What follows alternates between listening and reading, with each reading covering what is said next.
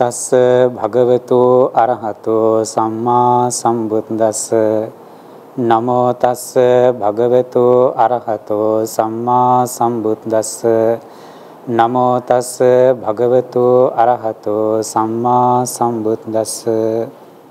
පූජනීය මහා සංඝරත්නයේ අවසරයි. ශ්‍රද්ධාවන්ත පින්වත්නි. අභිධර්ම සම්භාසන ඉදේශනම් වලට අදාළව අපි සාකච්ඡා කරගෙන ආවේ පුද්ගල පඤ්ඤාති ප්‍රකරණේන ධර්ම කරුණ සම්බන්ධයෙන් අභිධර්ම පිටකයේන ඒ සත්‍යප්‍රකරණයන්ගෙන් එක් ප්‍රකරණයක් තමයි මේ පුද්ගල පඤ්ඤාති ප්‍රකරණය. අභිධර්මයේ සාමාන්‍යයෙන් කතා කරන්නේ පරමාර්ථ ධර්ම පිළිබඳව කියලා අපි දන්නවා. නමුත් ඒ පරමාර්ථ දේශනාව තුළ පුද්ගලයන් ගැන කතා කරේ. පුද්ගලයන් කියලා කෙනෙකුට අපිට පැහැදිලි වෙනවා සම්මුතිය ගැන කතා කරන්න කියලා. පරමාර්ථයෙන් බැහැර දෙයක් ගැන. එහෙනම් පුද්ගලයන් ගැන කතා කරන්න හේතුව මොකක්ද කියන කාරණාව අපි මේ පුද්ගල පඤ්ඤාති ප්‍රකරණය දේශනා මාලාව ආරම්භ කරපු දවසේදී පැහැදිලි කිරීමක් සිදු කරා. හේතුව තමයි ආභිධර්මකයන්ගේ නොමුලා භව පිණිස ඒ සම්මුතිය ගැනත් එහි දේශනා කරලා තියෙනවා. මොකද සමහර ස්වාමීන් වහන්සේලා ඉන්න අභිධර්ම පිටකේ විතරක් ධාරණය කරගෙන ඒ විතරක් අධ්‍යයනය කරන සූත්‍ර අධ්‍යයනය කරන්නේ නැති. එහෙම වුණත් එහෙම සම්මුතිය පිළිබඳව පැටලිල්ලක් ඇති වෙන්න පුළුවන් ගැටලුවක් ඇති වෙන්න පුළුවන්. ඒක මග හරවා ගන්න තමයි මේ සම්මුති ලෝකය ගැන කතා කරලා තියෙන්නේ. ඒ කියන්නේ මේ පුද්ගලයන් සම්බන්ධයෙන් කතා කරලා තියෙනවා. මේ පුද්ගලයන් සම්බන්ධ කාරණාවන් අපට සූත්‍ර පිටකයේත් බොහෝ තැන්වල හම්බ වෙනවා. විශේෂයෙන් අංගුත්තර නිකායේ ඒ ඒ නිපාතවල මේ පුද්ගලයන් පිළිබඳව සඳහන් වෙලා තියෙනවා. නමුත් මේ පුද්ගල පඤ්ඤාති ප්‍රකරණය තුළ ඒ සියල්ල එක තැනකින් අපිට ඉගෙන ගන්න පුළුවන් හැකියාව තියෙනවා.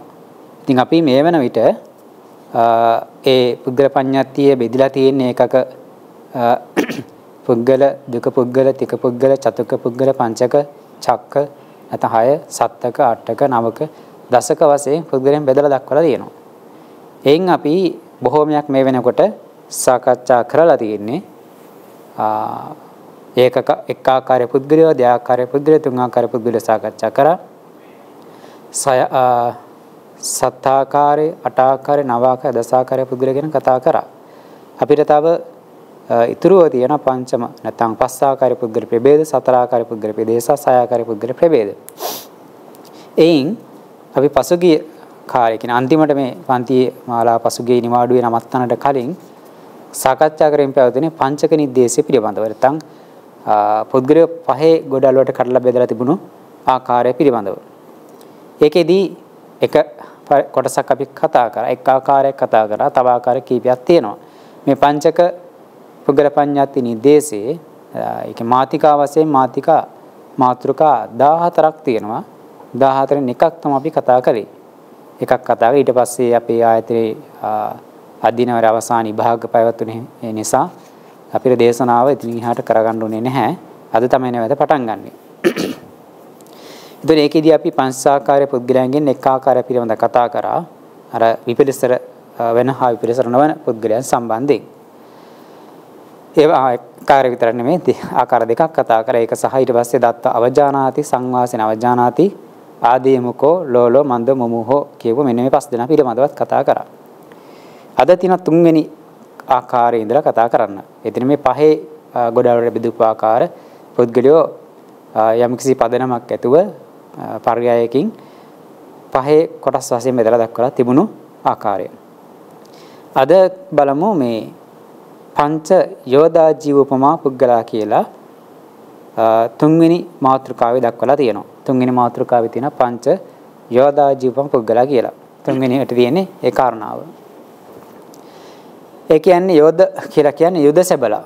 යෝධා කියලා කියන්නේ යුද සැබලට යුද සැබල උපමා කරපු පස් දෙනෙක් ගැන කියවෙනවා. ඇතර මෙතන කියවෙන විශේෂයෙන් භික්ෂුන් වහන්සේලා සම්බන්ධයෙන් තමයි එක් එක් ආකාරයේ භික්ෂුන් වහන්සේලා පිළිබඳව මේක කතා කරලා තියෙන අතරම මේ භික්ෂුවක් ශාසනය කොයිතරම් දුරට ඉදිරියට යනවද කියන කාරණාව පිළිබඳව ඒ කාරණාව පිළිබඳව එයා සමහර අපි හොඳටම දන්න සමහර දැන් ශාසනය පැවිදි වෙන පැවිදෙන තරමටම ඉන්නේ නැහැ හැමෝම. සමහර කෙනෙක් පැවිදිලා ටික කාලයක් යනවා. සමහර කෙනෙක් පැවිදිලා ටික කාලයක් ඉඳලා යනවා. සමහර කෙනෙක් පැවිදිලා සමහරට දිවිහිමි පැවිදි ආරක්ෂා කරන් ඉන්නවා. මේ පැවිදි ආරක්ෂා කරන් ඉන්න අතරත් සම කලාතුරෙන් කෙනෙකුට තමයි බහු උත්සාහවත් කරලා ධ්‍යාන සමාධි විපස්සනා ඥාන මාර්ගඵල ආදී උපදවගන්නේ. එතකොට මෙන්න මේ පැවිද්ද ලැබූ පැවිද්ද කොයිතරම් දුරට යා ඉස්සරහට ගෙනියනවද සාර්ථකව ගෙනියනවද කියන එක ගැන තමයි කතා කරන්නේ. එතනදී පස් දෙනෙක් ගැන කතා කරනවා. පස් දෙනෙක් ගැන කතා කරනවා. කොහොමද මේ පස් දෙනා කියලා බලමු. හරි. පළවෙනිට කියනවානේ මේ පස් දෙනා ඉස්සරලා යුද යුදසෙබුළු පස් දෙනා ගැන විස්තර කරලා ඉන්නවා. යුදසෙබුළු උපමා කරගත්ත පස් දෙනෙක් ගැන කියවෙන්නේ. මේ යුදසෙබුළු පස් දෙනාට උපමා කරලා භික්ෂුන් වහන්සේලා පස් දෙනෙක් ගැන කියනවා. ඉස්සරලා යුදසෙබුළු පස් දෙනා ගැන පැහැදිලි කරන මේ විදියට. කම තියෙන එක්කෙනෙක් තමයි දැන් මේ පිළි තියෙන විදිහ මෙලව යුදසෙබලෙක් දූලි කඳ මතු දැක නවති. පසුබසි. දැඩි නොවේ. රණ බිමට බස්සනට නොහැකි වේ. මෙලව එබඳු ද යුදසෙබලෙක් වේ. මෙතෙ මෙලව ඇති විද්‍යාමානු පළමු යුදසෙබලය කියනවා. එතන දැන් යුද්ධයට යන සෙබළු අතරින් තින්නවා සමහර සෙබළෙක් කලාව හොඳ ඒ කියන්නේ දක්ෂම සෙබළෙක් නිර්භීත සෙබළෙක් තමයි ශ්‍රාණ භූමියේ ඉදිරියටම යන්නේ. ඉදිරියටම ගිහින් යුද්ධ කරලා ජයග්‍රහණය කරන සමහර සෙබළු ඉන්නවා මග නම තියෙනවා. නැත්නම් සමහරව මග මර වෙන සතුරු සේනාවගේ ප්‍රහාරයට ලක් වෙලා මරණයටපත් වෙනවා. ඒතර මෙහෙම යුද සෙබළු පස් දෙනෙක් ගැන කියවෙනවා. එක් පළවෙනි කියන යුද සෙබළා තමයි එයා දූලි කඳ දැක නවතී කියනවා. දූලි කඳ දැක කියලා කියන්නේ දැන් අද කාලේ වගේ නෙවෙයි ඉස්සර නම් දැන් මේක රජ කාලේ යුද්ධයක් නිහිතින් මවා ගන්නකො. එතකොට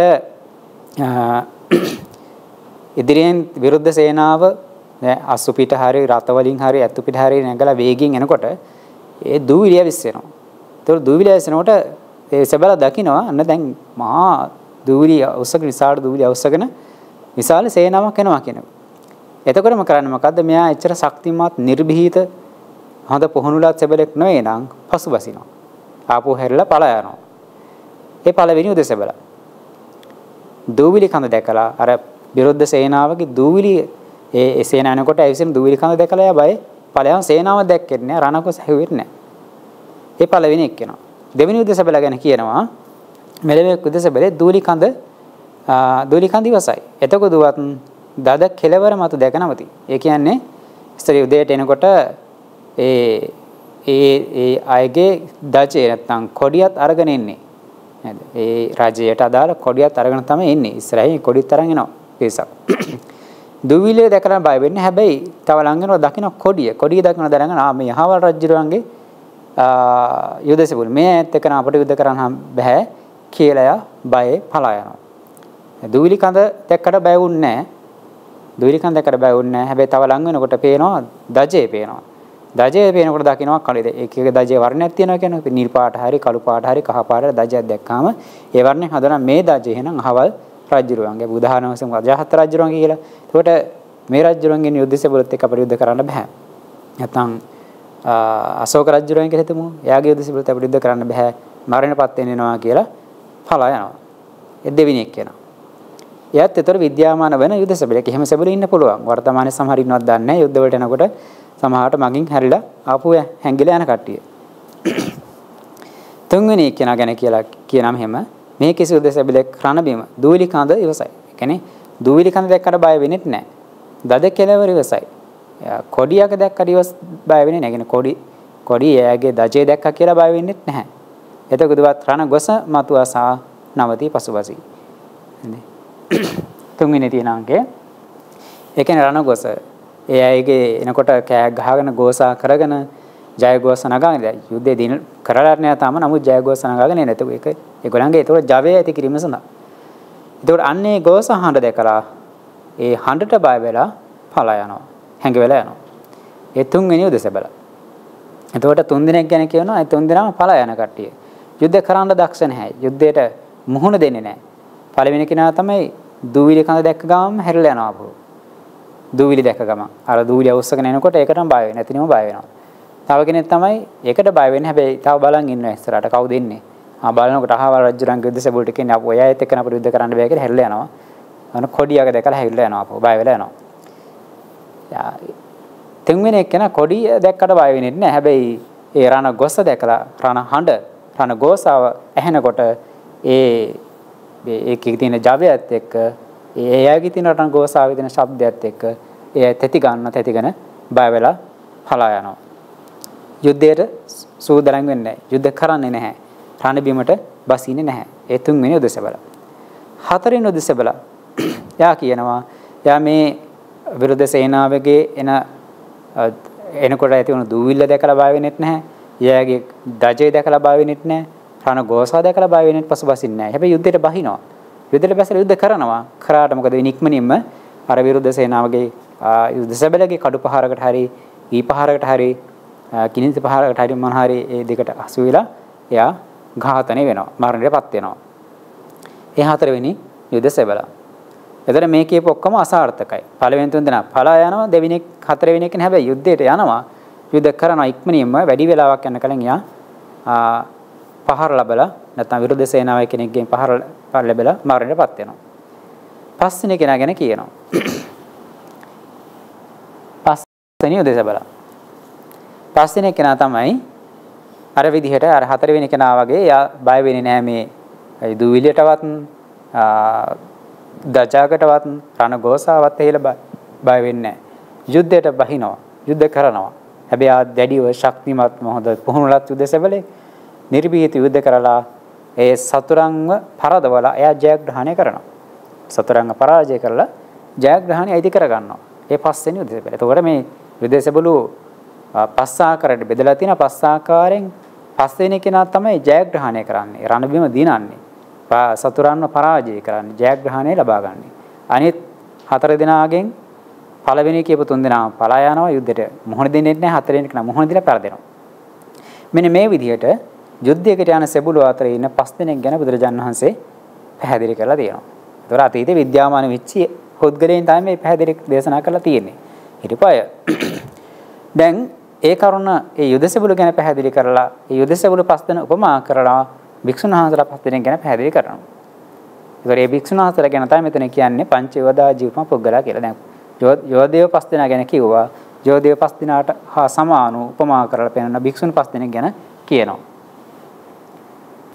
මේ කරුණ ඇතර ගැඹුරු නැති හින්දා පැහැදිලි විස්තර කරගන්නවා ඉක්මනින්. ඊළස්සේ පෙරේ පෙන්නනවා මේ පරිදිම භික්ෂුන් අතුරේද භික්ෂුන් අතුරේ ඇති දක්නා ලැබෙන යුදේශ වලට බදු පුද්ගලයෝ පස් දෙනෙක් ගැන කියනවා. ඒ කවර පස් දෙනෙක්ද යක්? පළවෙනි එක්කෙනා. මේ සස්නේක් මහණෙක් රජග්ගය දැකම කිඳේ පසුබසි දැඩි නොවේ සසර බඹසර රක්නට නොහැකි වෙයි. ශික්ෂා දුර්වල බාර ප්‍රකාශ කොට ශික්ෂා ප්‍රත්‍යක් යනකොට ගිහි වෙයි. ඔහුගේ ඔහුගේ දජග්ගය දැකීම යත් හරි. ඒ කියන්නේ මොකද්ද? එක මහණෙක් කෙනෙක් භික්ෂුවක් ඉන්න සාසනය පැවිදි වෙනවා. පැවිදි වෙලා හැබැයි දජග්ගය රජග්ගය රජග්ගය කියලා කියන්නේ දූවිලි දූවිලි කඳ අර පළවෙනි උදෙසේ බලා දුහවිල දැකලාම බය වුණානේ ඒ වගේ මේ දුහවිල දැකලාම දූවිලි කඳ දැකලා දුවිලි දැක රජග්ගය දැකලා කිඳනවා. ඒ කියන්නේ පසුබසිනවා. දැඩි වෙන්නේ නැහැ. වීරය කරන්නේ නැහැ. භ්‍රමචර්යාව පුරාණට සමර්ථ වෙන්නේ නැහැ. එයා ශික්ෂාව ශික්ෂාවේ දුර්වල බව ප්‍රකාශ කරලා ඒ කියන්නේ තමන්ට මේ සීල රකින්න බැහැයි කියලා ශික්ෂා ප්‍රත්‍යක්ඛානය කරලා කියන්නේ ශික්ෂා ප්‍රතික්ෂේප කරලා. උපසම්පදා භික්ෂුවකට පුළුවන් තමන්ට මේ භික්ෂුව භාවය රැකගෙන ඉන්න බැරි නම් එයාට උපසම්පදා ප්‍රතික්ෂේප කරලා අපෝ සාමාන්‍යර වෙන්න පුළුවන්. නැත්නම් ගිහි වෙන්න පුළුවන්. ඒකට අවස්ථා බුදුරජාණන් දීලා තියෙනවා. ශික්ෂා ප්‍රතික්ෂේප කරන ක්‍රමයක් තියෙනවා. ඒ නිවැරදි ක්‍රමයට කරේ නැත්නම් ඒක වෙන්නේ නැහැ. එතකොට එයා ගිහි වෙනවා අපෝ. පැවිදි වෙලා එයාට පැවිද්දේ දිගට කරගෙන යන්න බෑ. Brahmacharya පුරන්න බෑ. එතකොට මෙයාට බාධා වුණු මේ Brahmacharyaව සාර්ථකව පූර්ණය කරන්න බැරි වෙන්න හේතුව ඌ දුහවිලි දුවලි කඳ නැත්නම් මේ රජක්ගේ මොකද්ද? රජක්ගේ මොකද්ද කියලා පැහැදිලි කරනවා. ඒ තමයි මේ භික්ෂුන් වහන්සේට අහන්න ලැබෙනවා. අසවල් නම් ගමෙහි හෝ න්‍යයන් ගමෙහි ස්ත්‍රියක් හෝ කුමාරිකාවක් හෝ මනාරුව ඇත්තේ දෙකුම් කලුවේ ප්‍රසාදලවන සුලිය උතුම් රූප සම්පන්න යුක්තයයි අසනවා. ඔන්න ඒ දැන් ඒ භික්ෂුව තරුණ භික්ෂුවක් වෙන්න පුළුවන්. පැවිදි වෙලා ඉන්නකොට එයාට අහන්න ලැබෙනවා දායකයන්ගෙන්. හරි මිනිස්සු කතා කරනකොට හරි නැත්නම් අනිත් භික්ෂුනාථලා කතා කරද්දී හරි පින්ඩපාතයේදී අහන්න ලැබෙනවා. අහවල් ගමේ නැත්නම් අහවල් න්‍යාං ගමේ අහවල් නගරේ ඉන්නවා. ස්ත්‍රියක් නැත්නම් කුමාරිකාවක් හරිම රූප සම්පන්නයි, දැකුම් කලුයි, ප්‍රසාද දෙවන සුළුයි. ඉතින් කියා එයා ඒ ස්ත්‍රිය පිළිබඳ වර්ණනාවක් අහන්න ලැබෙනවා. වර්ණනාවක් අහන්න ලැබෙනවා. ඒක අහලා කිඳා බසින පසු බසිනවා. දැඩි නොවෙනවා. බඹසරක් කියනට නැහැ කියනවා. ඉතින් එයා කරන්නේ ඒ ස්ත්‍රිය ගැන හිත හිත ඉඳලා ශික්ෂා ප්‍රතික්ෂේප කරලා අපෝ ගිහි වෙනවා. මෙන්න මේක උපමා කර මෙයා උපමා කරන අර යුදස වෙලෙක් හිටියානේ දූවිලි කඳ දැක්ක ගමන්ම පස්සේ බැස්සලා ගිය කෙනෙක් යුද්ධයට මුහුණ දෙන්නේ නැති කෙනෙක් ඒ වගේ. ඉතින් අහලා ඇති කතා ප්‍රවෘත්තියක් තිබුණා මේ විනය පිටකේ මට මතක විදිහට තියෙනවා. ම්ම් ඉනි හසූත්‍රයේ සඳහන් වෙනවා එක්තරා භික්ෂුන් වහන්සේ නමක් යා භික්ෂුන් වහන්සේලාට ආරාධනා කරනවානේ එක එක දැන් දානපති නැත්නම් උපාසිකාවන් උපාසක මහතුරුන් දානෙට ඉතින් එක කාලයක සුන්දරේ කියලා ගණිකාවක් හිටියා මේ ගණිකාව ශාසනය කෙරෙහි පැහැදිලා දන් දෙන හැබැයි බොහෝම ඒ කාලේ ඒ ගණික වෘත්තිය කරාට පසු කාලීනව ඒක වරද තේරුම් අරගෙන ඒ නිවැරදි වෙලා බුදුරජාන් වහන්සේගේ ත්‍රිවිධ රත්න කෙරෙහි ප්‍රසාදය ඇති කරගෙන බොහොම ශ්‍රද්ධාවෙන් දානෙම දානමය පින්කම් සිද්ධ කරනවා. එයාගේ නිවසට ස්වාමීන් වහන්සේට ආරාධනා කරලා දන් දෙනවා. ඒවා සීතින් උපස්ථාන කරන බොහොම හොඳින් ය විමසලා අවශ්‍ය විදිහට දානි සකස් කරලා දෙනවා. හිතා ප්‍රණීත විදිහට. ඉතින් ඒ ගෙදරට වඩින ස්වාමීන් වහන්සේලා පින්නපාත වැඩියන් පස්සේ පින්නපාතේ වරන්දලා ඇවිල්ලා ඒ කතා වෙනවා. ඉතින් ඒගේ උපස්ථානයේ තියෙන අලංකාරය ඒ කියන්නේ එයා කොච්චරන් දුරට හොඳින් ශ්‍රද්ධාවෙන් උපස්ථාන කරනවද? කොයිතරම් දුර ප්‍රණීතව දානවත් සකස් කරලා දෙනවද කියලා. දැන් භික්ෂුණාට අවශ්‍ය ගීත දාණයෙන් පස්සේ අවශ්‍ය පස්කෝර මේ පංච බේසජ්‍ය පවා ලබා දෙන පාත්‍රය පුරවලා ඒ යම් සානසන ගිතෙල් අවසන ගිතෙල්ද යම් සානස චතුමදරසන චතුමදරද මේ පැණි අවසන මේ පැණිද මේ විදිහට ඒවා පාව පූජා කරන ඊටම ශ්‍රද්ධාවෙන්. ඉතින් එක වික්ෂුන් වහන්සේ නමකට මේ ප්‍රවෘත්ති ඇහෙනවා. වික්ෂුන් වහන්සේට කතා වෙනවා. කතා වෙනන් පස්සේ කතා වෙන ඇහිලා මුන්නාහිර මමත් කොහම හරි යන්න ඕන කියලා අවස්ථාවක මේ සුන්දරි නේ සුන්දරි නෙමෙයි කවුද මේ මට නම මතකුණා ඔව් සුන්දරි තමයි ඒගාගේ දානෙට යන්න ඕන කියලා ඊට පස්සේ මේ මෙහෙම කල්පනා කරගෙන ඉන්නකොට කුමාරිය පිරිවරින් දානෙට කියන්නේ ආර්දනා කරනකොට ඒ සලාක ක්‍රමයට තමයි සමින්හාසල යොමු කරන්නේ. ඉතින් ඒ වතබාර සමින්හාස කෙනෙක් ඉන්නවා. ඒක ඒ වතර කියන්නේ බත් උද්දේශක වත කියලා. බත් උද්දේශ කියලා වතක් තියෙනවා. ඒක යම්ගේ ස්වාමින්වහන්සේ නමක් පංච අගතිරියන්නේ නැති ස්වාමින්වහන්සේ නමක් පත් කරනවා. ඉතින් අර දබමල්ල පොත ස්වාමින්වහන්සේ කාලයක් ඒ කටයුතු සිද්ධ කරා. ඒ වගේ ස්වාමින්වහන්සේ කෙනෙක් විසින් තමයි මේ කර්තව්‍ය කරන්නේ. එතකොට එහෙම සලාග ක්‍රමේ නැත්නම් ත්‍රිකා ක්‍රමයට මේ පින්ඩපාත වරෙනකොට මේ ස්වාමීන් වහන්සේටත් අවස්ථාවක් ලැබෙනවා. අර බලාපොරොත්තුෙන් හිටපු ස්වාමීන් වහන්සේට. ඒ සුන්දරි නෙමෙයි සිරිමා මට මතක විදියට සිරිමාව විසින් තමයි මේ උපදානෙ දෙන්නේ. පොඩක් ඒක බලන්නට ඕන. ඊට පස්සේ මේ අවස්ථාව ලැබෙනකොට මෙයා යනවා. ගියන් පස්සේ ඇයගේ රූප සම්පත්තිය දකිනවා. රූප සම්පත්තිය දැකලා එතනින් යාට උන්වහන්සේට දානි වළඳන්න වෙන්නේ නැහැ. දාන පිළිගතර දානි වළඳන්නේ හිතේ ඇති වෙන කාමච්ඡන්දේ. බලවත් ලෙස කාමච්ඡන්දෙන් ගේ සිටිනවා. ඊට පස්සේ දානි වළඳන්න වෙන්නේ නැහැ. දානි පාත්‍රයත් අරගෙන ඇවිල්ලා තියලා නිදා ගන්නවා. දවස් ගාණක් දානේ ගාලත් නැහැ. දානේ පාත්‍රෙත් කුණු වෙනවා අන්තිමට. පාත්‍රෙන් දාන ටිකත් නරක් වෙලා යනවා. එහෙම එන්නකොට තමයි මේ මේ මෑත කාලෙදීම ඒව කලුරිය කරන්නේ. ඊට පස්සේ අර බුදුරජාණන් වහන්සේ මේ භික්ෂුනාංශ කාරණේ දැනගෙන අර යාව බල දාන්න එපා ආදාහනය කරන්න එපා සොහොනේ තියන්න කියලා කාටවත් සතුන්ට හානි කරන්න බැරි විදිහට ඒ අනුසාරයෙන් බුදුරජාණන් වහන්සේ ධර්ම දේශනාවක් පව සිදු කරේ. මම දකින්න මට ඒ කවුද කියලා හරියටම බලලා කියන්න. ඔව් ඒක සිරිමා කතාවස තමයි සිරිමා ගණිකාව තමයි බුද්ධ ශාසනයකට පැහැදිලි විදිහට දානේ දීලා දුන්නේ. එක්තරා භික්ෂුන් වහන්සේ කෙනෙකුට තමයි මේ විදිහට එතුමියගේ දාණයට දාණයට දකින්න නැත්නම් දානේ වළඳන්න යන්න ආසාවක් හිතේ ඇතිුනේ. පස්සේ ඒ වාරේ ලැබුණාම දානට වැඩියාම ඇයි තාම ශ්‍රද්ධාවෙන් දානේ පිරිනැමුවා. නමුත් උන්වහන්සේට ඇයි පිළිබඳ කාමච්ඡන්දයක් ඇතුණෙන් පස්සේ දානය වල දඬුනේ නැහැ. ඊට පස්සේ පින්නු දන්න ඒ කාරණාව ධම්මපදට්ට කතාවේ සඳහන් වෙනවා. ඒ කලුරිය කරන අනුභව කාලයකදී ඒ කිට්ටු ආසන දවසක ඊට පස්සේ තමයි බුදුරජාන් වහන්සේ රජතුමාට කියන්නේ ඇයව ආදාහනය කරන්න හෝ භූම දානය කරන්න එපා. තියලා තියෙන කිසිම සතෙකුට හානි කරන්න බැරි විදියට දවස් කීපයක් කියලා. ඊට පස්සේ තමයි හැමෝටම එන්න කියන නගරවාසී හැමෝටම එන්න කියනවා. ආවේ නැති කෙනෙක් කවොත් දඩ ගහනවා කියලාත් රජු නියෝග කරා. රජු දැනගත්තා මේ බුදුරජාණන් වහන්සේ විසින් මේක සිදු කරන්න හදන්නේ මේ නිමිති කරගෙන මිනිසුන්ට ධර්ම දේශනාවක් ධර්ම කරුණ පැහැදිලි කරන්න කියන එක.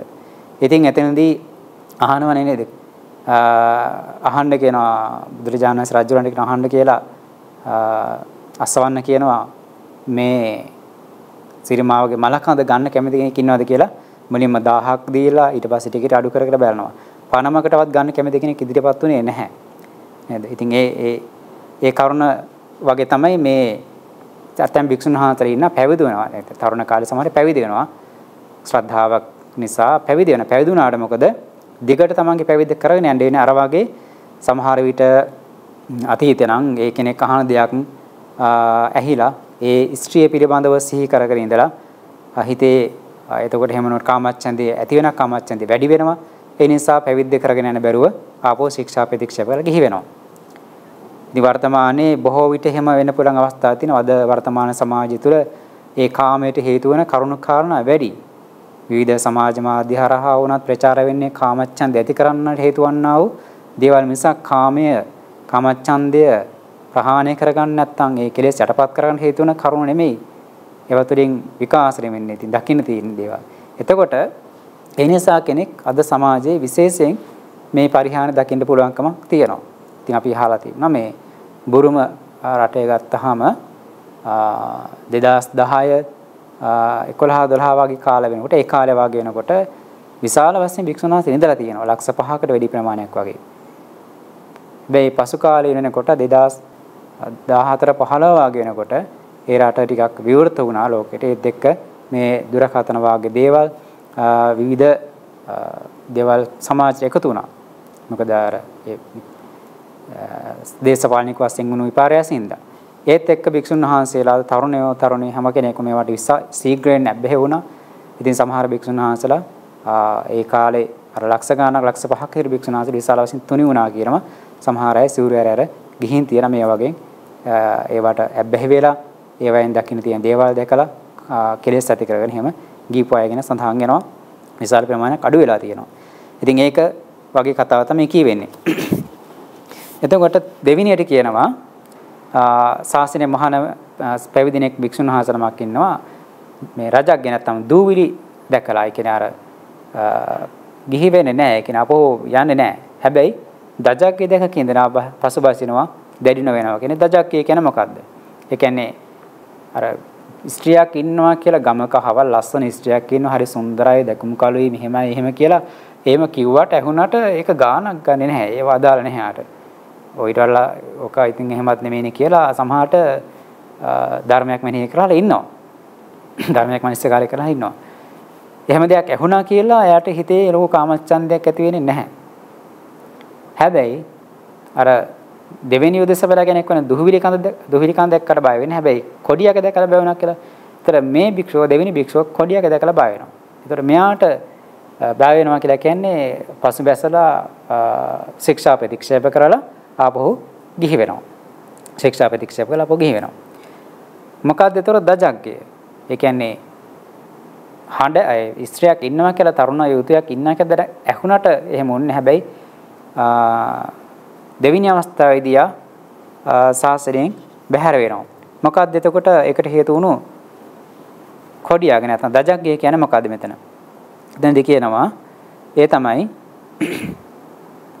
තමන් මේක ඒ ස්ත්‍රී කුමාරිකාව දකින්න. ඒ කියන්නේ පළවෙනි භික්ෂුව නම් උනේ මෙහෙම කුමාරිකාවක් දස්සන කෙනෙක්, සුන්දර කෙනෙක්, රූප සම්පන්න කෙනෙක්, දකුණු කල කෙනෙක් ඉන්නවා කියලා අහන්න ලැබුණාම ඒක ගැන මෙනෙහි කරලා කාමච්ඡන්ද ඇති කරන සිවුරු හැර යනවා. ශික්ෂා ප්‍රතික්ෂේප කරනවා. දෙවෙනියට කියව භික්ෂුව එහෙම උනේ නැහැ. හැබැයි එහෙම ඇහුවට පස්සේ ආ පින්ඩපාත යනකොට හරි කිසියම් කාර්යයකට ගමට යනකොට හරි ඒ කියපු කුමාරිකාව ඒ කියපු තරුණ යුවතිය දකිනවා තමන්ම සියසින් දකිනවා. දැක්කහම ඒ රූප සම්පත් දැකලා ඇය කෙරෙහි කාමච්ඡන්දයක් ඇති කරගෙන ගිහි බවට පෙරලෙනවා. තමන්ගේ භික්ෂු භාවයෙන් අයින් වෙනවා. ඒක තමයි දෙවිනි යුදෙස බලා වගේ කියනවා ඒ භික්ෂුව. තුන්වෙනි කෙනා තුන්වෙනි භික්ෂුව ඒ කියන්නේ දැන් තුන්වෙනි යුදෙස බලා හා සමාන භික්ෂුව තමයි. එයා දුහවිලියක දැකලා ඒ කියන්නේ අර ස්ත්‍රියක් ගැන අහන්න ලැබුණා කියලා සූර් හැරයන්නෙත් නැහැ. කියන්නේ තුන්වෙනි තියෙන කෙනාව.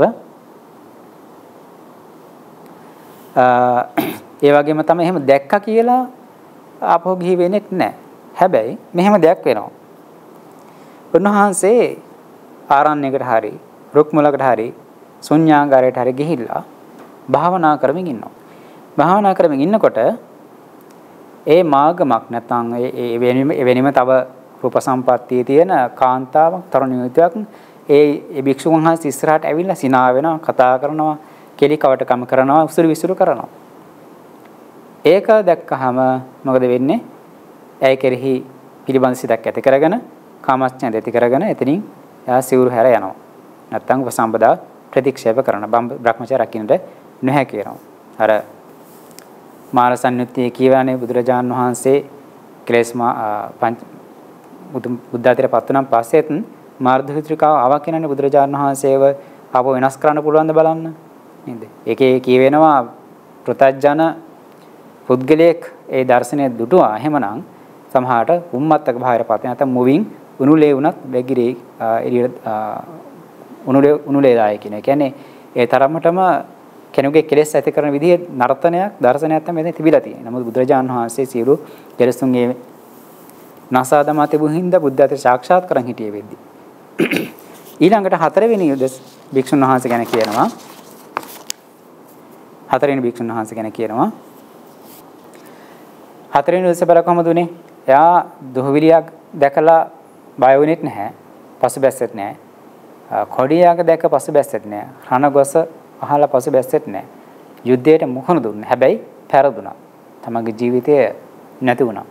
ඒ වගේ භික්ෂුවක් ගැනත් කියවෙනවා. ඒ තමයි ශාසනයේ පැවිදිච්ච එක් භික්ෂුවක් ඉන්නවා. උන්වහන්සේ මේ අවස්ථා මුල් අවස්ථා තුනම දිනා ගන්න. ඒක මුල් අවස්ථා තුනටම පසුබසින්නේ නැහැ.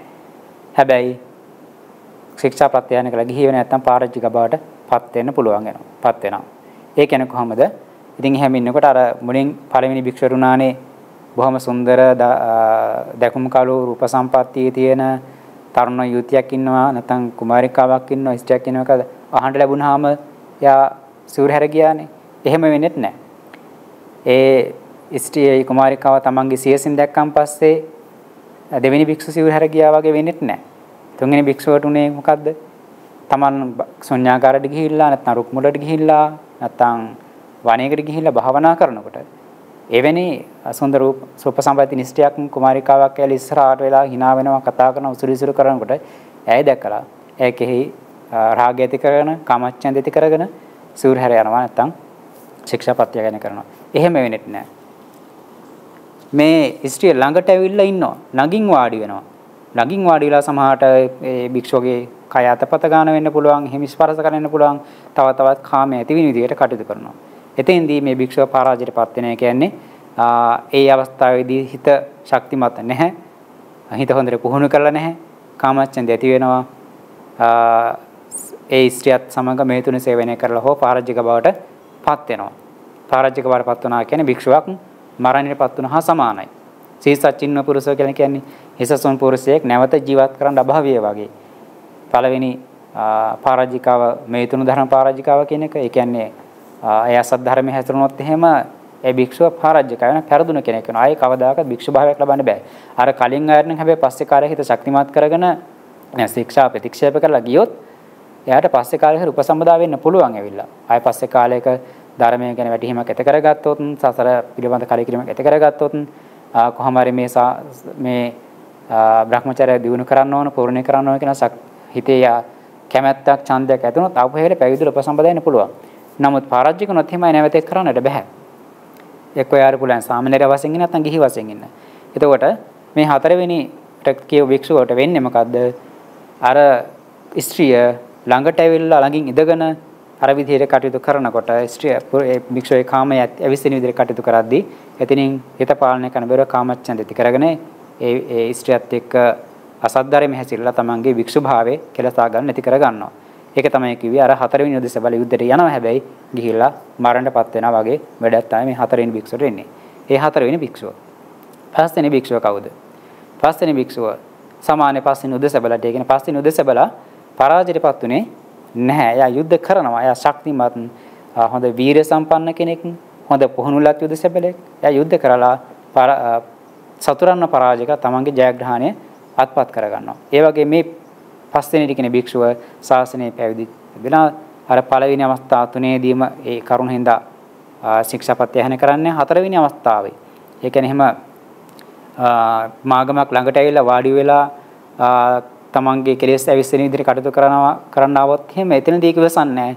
එයාව තල්ලු කරලා දාලා හෝ එයාට බැනලා හෝ එලවලා හෝ නැත්නම් ඉතින් නැගිටලා වෙන තැනට ගිහිල්ලා හරි තමන්ගේ ශ්‍රමණ ධර්මය පූර්ණණය කරලා ඉක්මනින්ම ඒ කෙලෙස් කෙලෙස් සතුරන පරාජය කරලා තමන්ගේ නිවන සාක්ෂාත් කරගන්න. නැත්නම් අරිහත්ත්වය නැත්නම් මඟපල උපදවා ගන්නවා. ඒ කොයිතරම් ආකාරයට ඒ කාන්තාවක් තරුණ යුවතියක් හරි ඇවිල්ලා එහෙම තමන්ට තමන් ඉදිරියේ කාමච්ඡන්ද ඇති වෙන විදිහට තමන් ළඟින් වඩලා හරි තමන්ට කාමයේ විසින විදිහට කටයුතු කරත් ඒ වගේසනත් ඒ ස්ත්‍රියව එක්ක තල්ලු කරලා දාලා පැත්තකට තල්ලු කරලා දාලා බැනලා එලවලා හරි නැත්නම් තමන් එතනින් වෙන තැනට ගිහිල්ලා හෝ එතෙන්ට ඉන්න දෙන්නේ නැතුව තමන්ගේ ශ්‍රමණ කෘත්‍ය මස්තක ප්‍රාත කරගන්නවා. ඒ කියන්නේ කෙලෙස් මාරය පරාජයක තමන්ගේ ජයග්‍රහණ අත්පත් කරගන්නවා. ඒ භික්ෂුව සමානේ අර යුද්ධයේ ජයග්‍රහණය කරලා කරන යුද සබල වගේ. ඒතර මේ විදිහට පස් දිනක් ගැන සඳහන් වෙනවා. එතකොට අරමත් ස්ත්‍රියගෙන් බලපෑමක් આવත් ඒ ඇතින් නැගිටලා යනවා එතන ඉන්නේ නැහැ. ගිහලා වෙන තැනකට ගිහිල්ලා වෙන ආරණ්‍යයකට හරි වෙනත් රුක්මුලකට හරි සුසාන භූමියට හරි අභ්‍යවකාශයට ගිහිල්ලා වීරිය කරලා භාවනා කරලා තමන්ගේ సంతානෙ පිරිසිදු කර ගන්නවා කෙලෙස් සතරන් පරාජය කරලා උතුම් මාර්ගඵල සාක්ෂාත් කර ගන්නවා. ඉතින් එතනදී නැවතත් පැහැදිලි කරන තවදුරටත් ඒ කොහොමද ඒක කරන කාරණේ සම්බන්ධයෙන් ඒ භික්ෂුව ආරණ්‍යට ගිහිල්ලා රුක්මලට ගිහිල්ලා සොඤ්ඤාකරට ගිහිල්ලා හරි පළඟක් බැඳගෙන කය ඍජුව තබාගෙන කර්මස්ථාන අභිමුඛ කොට සිහිය තබාගෙන ඒ කය සම්බන්ධින අවිජ්ජාව දුරු කරලා අවිජ්ජාවෙන් සිත පිරිසුදු කර ගන්නවා. ඒ කියන්නේ කාමච්ඡානි දුරු කර ගන්නවා. ඊළඟට ව්‍යාපාදයේ දෝෂය දුරු කරලා ව්‍යාපාදින් සිත පිරිසුදු කර ගන්නවා. ඊළඟට තීන මෙද්‍ය දුරු කරලා තීන මෙද්‍ය සිත පිරිසුදු කර ගන්නවා. ආලෝක සංඥා ඇති කර ගන්නවා. ඊළඟට මුද්දාච කුක්කොච්චේ දුරු කරලා ආධ්‍යාත්මික හිත සංසුන් කර ගන්නවා. සංසිඳුවා ගන්නවා. ඊළඟට විචිකිච්ඡාව ප්‍රහාණය කළ දුරු කරලා විචිකිච්ඡාවෙන් සිත පිරිසුදු කර ගන්න. මේ විදිහට පංච නීවරණ ධර්මයන් යටපත් කර ගන්න සමත භාවනාවක් සිද්ධ කරගෙන සමත භාවනාව විපස්සනා භාවනාවම ඒ මුලින්ම සිද්ධ කර ගන්නවා ඒ නීවරණ ධර්මයන් යටපත් කරගන්න එක. ඊළඟට කරන්නේ මොකක්ද? නීවරණ යටපත් වුණාන් පස්සේ දැන් සිත පිරිසුදු උපක්‍රේසයන් ප්‍රහාණය වෙලා තියෙන ප්‍රඥා පංච නීවරණ දුර වෙලා තියෙන්නේ. ඒ ප්‍රඥාව දුර්වල කරන පංච නීවරණ ධර්මයන් දුර කරලා තියෙන්නේ. එහෙම ඉන්නකොට පුළුවන් වුණු එයාට පංච නීවරණ දුර කරාතන් පස්සේ ඒත් එක්ක ප්‍රථම අධ්‍යානය, ဒုတိ අධ්‍යානය, තතිය අධ්‍යානය, චතුර්ථ අධ්‍යානය කියන මේ රූපාවචර ධ්‍යාන සමාපත්තියෙන් උපදවා ගන්නට. ඒක තමයි ඊළඟ පිළිවෙල. ඒ විදිහට ධ්‍යානව සමාධියෙන් ඇති කරන තව තවත් හිත ශක්තිමත් වුණාන් පස්සේ චතුර්ථ ධ්‍යානට හිත සමාධිමත් කරගත්තා කියන්නේ හිත බොහොම ශක්තිමත් ප්‍රබලයි කර්මඤ්ඤයි උපක්කලස ප්‍රහාණලා තියෙන්නේ ප්‍රභාස්වර ඒ මනසට පුළුවන් ඒ සිතට පුළුවන් චතුරාර්ය සත්‍ය සාක්ෂාත් කරගන්න අවබෝධ කරගන්න දුක පිරිසිදු දකින්න සම දුක පිරිසිදු දැකීමත් සිදු කරගන්න පුළුවන්. ඒත් එක්ක දුක පිරිසිදු දකින්නවා කියලා කියන සමුදය නැත්නම් තෘෂ්ණා ප්‍රහාණය වෙනවා. ඒකින් නිරෝධය ශාස්ත්‍රයේ මාර්ග වැඩිම තුලින්. ඒ තුලින් ඊට පස්සේ ආ ආශ්‍රවයේ ආශ්‍රව සමුදය මොකක්ද ආශ්‍රව නිරෝධය ආශ්‍රව නිරෝධ කරන ප්‍රතිපදාය කියන ඒ කාරණාව තේරුම් අරගෙන ආශ්‍රවයේ සිද්ධ කරගන්නවා කියන එක තමයි එතන පැහැදිලි කරන්නේ. ඉතින් අවසානයේ තමන් තේරුම් ගන්න තමන්ගේ කාමාශ්‍රව, භවශ්‍රව, දිඨාශ්‍රව, අවිජ්ජාශ්‍රව කියන මේ ආශ්‍රව ධර්මයන් තමන් විසින් ප්‍රහාණය කරාගෙන කාරණාව තමන් ප්‍රත්‍යක්ෂ වශයෙන් දැනගන්නවා අරියත සාක්ෂාත් කරාගෙන එක.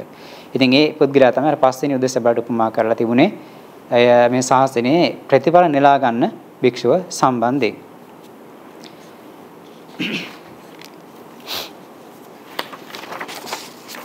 එතකොට නොවිදිහට යුදසෙබලුන් උපමා කරගත්ත භික්ෂුන් වහන්සේලා පස් දෙනෙක් පිළිබඳව තමයි ඒ පංචකේ දැක්වෙන්නේ. යුදසෙබළු පස් දෙනෙක් ගැන සඳහන් වුණා. ඒක යුදසෙබලෙක් විරුද්ධ සේනාවේ එනකොට ඒ දුහවිලි කඳ දැකලා බය වෙනවා. දෙවෙනි කෙනා ඊට බය වෙන්නේ හැබැයි කොඩියක දැකලා බය වෙනවා. කොඩිය දැකලා බය වෙනවා. තුන්වෙනි කෙනා ඊට බය වෙන්නේ නැහැ හැබැයි රණ ගොස රණ හඬ දැකලා බය වෙනවා. හතරවෙනි කෙනා ඒවට බය වෙන්නේ නැහැ යුද්ධයට යනවා. ඉදිරියට එකම නියම විරුද්ධ සේනාවේ සැබලගෙන් පහර ලැබලා පහර කාලා මරණයටපත් වෙනවා. පස්වෙනි කෙනා යුද්ධයේ ජයග්‍රහණය කරගන්නවා. ඒ කියන්නේ යා ශක්තිමත් හොඳ පුහුණුලත් කෙනෙක්, වීරයවන්ත කෙනෙක්. අනික් සතුරන්ව පරාජය කරලා සතුරන්ව පරාජය තමන්ගේ ජයග්‍රහණයටපත් කරගන්නවා. එහා සමානව පස් භික්ෂුන් වහන්සේලා පස් දෙනෙක් ගැන කියන එක භික්ෂුවක් තමයි. එහෙම පැවිදි වුණාට මොකද එයාට ටික දවසක් යනකොට අහන්න ලැබෙනවා කාගෙන් හරි. අවම ලස්සන සුන්දර කාන්තාවක් නැත්නම් තරුණියක් යුවතියක් ඉන්නවා කියලා හවල් ගමේ හවල් නියං ගමේ නගරේ. ඉතින් ඒක ඇහුවන් පස්සේ ඒ ඒ පිළිබඳ කල්පනා කරමින් ඉඳලා කාමච්ඡන්දය ඇති වෙලා තමන්ගේ කෙලෙස් సంతානෙ වැඩිලා සිවුර හැර යන නැත්නම් ශික්ෂා ප්‍රත්‍යක්ෂයන කරලා කිහි වෙනවා. දෙවෙනි කෙනා එහෙම දෙයක් ඇහුවට වෙන්නේ හැබැයි යම් දවසකදී යා පින්ඩ පාතනකොට හරි ඒ භික්ෂුන් වහන්සේ පින්ඩ පාතනකොට හරි ඒ කියපු විදි ඉෂ්ටේව දකින්න ලැබෙන කුමාරිය දකින්න ලැබෙනවා ඊයෝතේ දකින්න ලැබෙනවා දැකලා ඒ කෙරෙහි පිළිබඳ සිතක් ඇති වෙන කාමච්ඡන්දය ඇති කරගෙන ඒ තුලින් ආපහු Tamanට ඉතින් ඒ දැඩිව කාමච්ඡන්දය වෙන පස්සේ භාවනා කරගන්න බෑ හිත හිත සකස් කරගන්න බෑ මොකද වෙන්නේ? ශික්ෂා ප්‍රතික්ෂේප කළා අපෝ ගිහි වෙනවා. තුන්වෙනි කෙනාට කෙනා ගැන කිව්ව මොකද්ද? එහෙම දැක්කටවත් මොනසක් දැක්කා කියලා Taman සිවුර හැරියන්නේ නැහැ. ශික්ෂා ප්‍රතික්ෂේප කරන්නේ. හැබැයි යා ළඟට ඉස්සරහට ඇවිල්ලා hina වෙන කතා කරන උසුරු විසුරු කරනවා. සමහර තමන් ඉන්න සේනාසට වෙන්න පුළුවන් පන්සලට එන්න පුළුවන්. එහෙම එල කතා බහ කරනකොට එයත් එක ඒ විදිහට කතා බහ කරලා සිනාසෙලා ඒ කෙලෙස් ඇති වෙනවා කාමච්ඡ නැති කරලා ගිහි වෙලා යනවා. සමහරට ඒ ජීවිතයත් එක්කම යන වෙන්න පුළුවන් හතරවෙනි කෙනා ඒ අවස්ථාව තුනට මොනවත් වෙන්නේ නැහැ හැබැයි එයා ගිහිල්ලා භාවනා කරමින් ඉන්නවා වනයේක හරි රුක්මලක හරි සොඤ්ඤාක හරි භාවනා කරමින් ඉන්නකොට අර කාන්තාව ඇවිල්ලා ඉස්සරහට වෙලා කතා කරමින් සිනාසෙමින් ඉන්නවා. මේ ළඟින් ඇවිල්ලා වාඩි වෙනවා. වාඩි වෙවිය වාඩි වෙලා ඒ සමාහටේ භික්ෂුවකට භික්ෂුවගේ කාමච්ඡන්දය ඇවිස්සෙන විදිහට කටයුතු කරනවා. සමාහට කයත් පද ගන්න වෙන්න පුළුවන්. එහෙම කරනකොට කාමච්ඡන්දය ඇති වෙලා ඒ කාන්තාවත් එක්ක සමාහට මේ තුනේ සේවනය කළා අසද්ධර්ම හැසිරලා පාරාජික බවට පත් වෙනවා. සාසනික චුත වෙලා යනවා. අර කලින් ආය ශික්ෂා ප්‍රතික්ෂේප කළා කියන්නේ මෙයා සාසනෙම චුත වෙලා නැහැ කියන්නේ භික්ෂු භාවයෙන්ම කෙලස ගන්නවා. පස්වෙනියට කියපු භික්ෂුන් වහන්සේ මේ කිසිවකට නතු වෙන්නේ නැහැ. උන්වහන්සේ ඊටාම ශක්තිමත් හොඳ වීරියවන්ත කෙනෙක්, හොඳ ඥාන සම්පන්න කෙනෙක්. ඒ නිසා එහෙම ස්ත්‍රියක් ළඟින් වාඩි වෙලා එහෙම කටයුතු කරන්න ගත්තොත් එහෙම එයව තල්ලු කරලා දාහෝ එයාට බැනලා එලවලා හෝ එතින් ඉන්න කියලා ගිහිලා වෙන තැනකට ගිහිල්ලා හරි තමන්ගේ ශ්‍රමණ කෘත්‍ය සිද්ධ කරනවා. වෙන විවේක තැන ගිහලා තමන්ගේ ශ්‍රමණ කෘත්‍ය සිද්ධ කරනවා. පළවෙනිම කරන්නේ මුලින්ම තියෙන ප්‍රබලම කෙලෙස් ටික තමයි නීවරණ ධර්ම ටික මේ නිවන් මාර්ග වහන ප්‍රඥාව දුර්වල කරන කෙලෙස් ධර්ම ටික ඒ නීවරණ ටික යටපත් කරගන්නවා කාම ඡන්ද ව්‍යාපාද තීන මිද්ද උද්ධච්ච කුච්ච විචිකිච්ඡා කියපු මේ නීවරණ ධර්ම යටපත් කරගන්නකොට නීවරණ යටපත් වීමත් එක්කම උපචාර අර්පණා සමාධියෙන් උපදවා ගන්න පුළුවන් අර්පණා සමාධියෙන් වශයෙන් ඒ රූපාචර සමා රූපාචර ධ්‍යාන උපදවන්න උපකාර වෙන කර්මස්ථානයකින් හිත දියුණු කරා නම් කසිනහා කසින වැනි කර්මස්ථානයකින් හොති දිනු කරා නම් එයාට පුළුවන් වෙනවා පළවෙනි දෙවෙනි තුන්වෙනි හතරවෙනි කියන ඒ ධ්‍යාන සමාධියෙන් උපදවා ගන්නට. ධ්‍යානයෙන් උපදවා ගන්නට. හතරෙන් ධ්‍යාන දක්වා හිත කෙනේ දිනු කරගත්තොත් ඒ හිත බොහොම ප්‍රබාස්වරයි ශක්තිමත් කර්මඤ්ඤයි යෝග කර්මයේ සුදුසුයි. ආරි සත්‍ය ප්‍රතිවේදී සුදුසුයි. ඉතින් ඒ උන්වහන්සේ දිනි පස්සේ කරන්නේ චතුරාර්ය සත්‍ය ප්‍රතිවේදී පිළිබඳ සිතියම කරනවා. දුක පිරිසිදු දකින්නට ඒ නාම රූප විපස්සනා වශයෙන් කරගෙන ගිහින් දිගට ඒ විපස්සනා භාවනා සිද්ධ කරලා ආර්ය සත්‍ය ප්‍රතිවේද කරගන්නවා. ඉතින් ඒක කෙටියෙන් කිව්වට දිග කතාවක් එතන තියෙනවා. එකපාරම ආර්ය සත්‍ය ප්‍රතිවේදයෙන් දැහැනේ සඳහා ක්‍රමානුකූලව විපස්සනා භාවනා සිද්ධ කරන්න ඕන. ඒ අනුසාරයෙන් දුක පිරිසිදු අවබෝධ කරගන්නවා. දුක පිරිසිදු දැකීමත් දැකීම සිද්ධ කරන්නේ ප්‍රඥාවෙන්මයි. ඒ දැකීමත් එක්ක එයාට දුක පිහින් දකිනකොට දුකෙහි කලකිරලා කලකිරීමෙන් නොඇලීමෙන් තෘෂ්ණා ප්‍රහාණය ලකිනේ තෘෂ්ණාව දුකෙහි ඇලීම හේතු කාරණා කරන දුකට හේතු නැති ඇලීම හේතු කාරණා හේතු කාරණා කරගෙනනේ නැවතන දුක හටගන්නේ එනිසා දුක පිළිමද දුක පිරිසන් දකින දුකෙහි කලකිරෙනවා දුක පිරිසන් දකිනවා කියන්නේ දුක දුක වශයෙන් දකිනකොට දුකේ කලකිරීම ඇති වෙන්නේ කලකිරීම ඇති වොත් නොඇලෙනවා නොඇලීමෙන් මේදීම ශාස්ත්‍රණය කියන්නේ දුකේ කලකිරෙනකොට තෘෂ්ණාව ප්‍රහාණය වෙන්නේ ඒ පිනා කලකිරීමක් ඇති නොවන තාක් තෘෂ්ණා ප්‍රහාණය කරන්න පුළුවන් වෙන්නේ නැහැ. යම් දවසක සියලු නැත්නම් පංචස්කන්ධය අනිත්‍ය දුක්ඛ අනාත්ම වශයෙන් පිරිසිදු දකිනකොට හර පුළුවන් වෙනවා පිනවා තියෙන ආසාව ප්‍රශ්නා ප්‍රහාණය කරගන්න. තෘෂ්ණා ප්‍රහාණයීමේ Nirodhe තමයි ශාස්ත්‍රාර්ථිනේ සඳහා මාර්ගය වැඩි යුතු වෙන. මේ ප්‍රත්‍ය හතර දුක පිරසින දැකීමත් සමුදය ප්‍රහාණයීමත් Nirodhe ශාතියත් මාර්ග වැඩිමත් කියන ප්‍රත්‍ය හතර එක වෙලෙ සිද්ධ වෙනකොට යාට මාර්ගය ශාස්ත්‍රාර්ථ වෙන්නේ.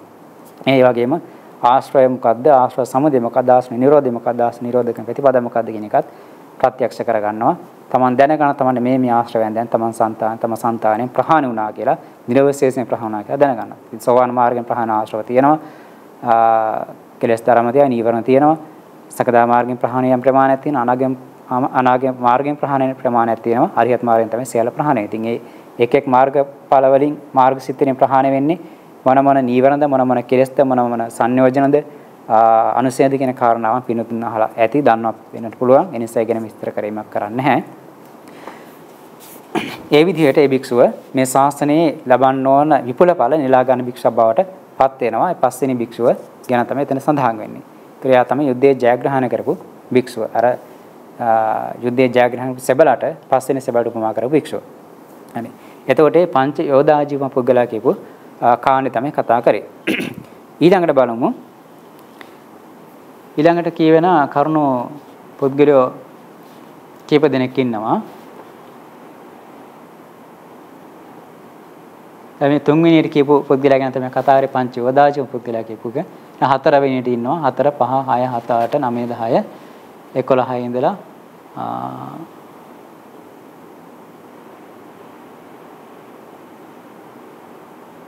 13 දෙනෙක් ගැන කියවෙනවානේ. මේ 13 දෙනා ඇවිල්ලා දුතාංග ධාතුවට හා සම්බන්ධයි. දුතාංග 13ක් ගැන පින්නතුන අහලා තිනේ.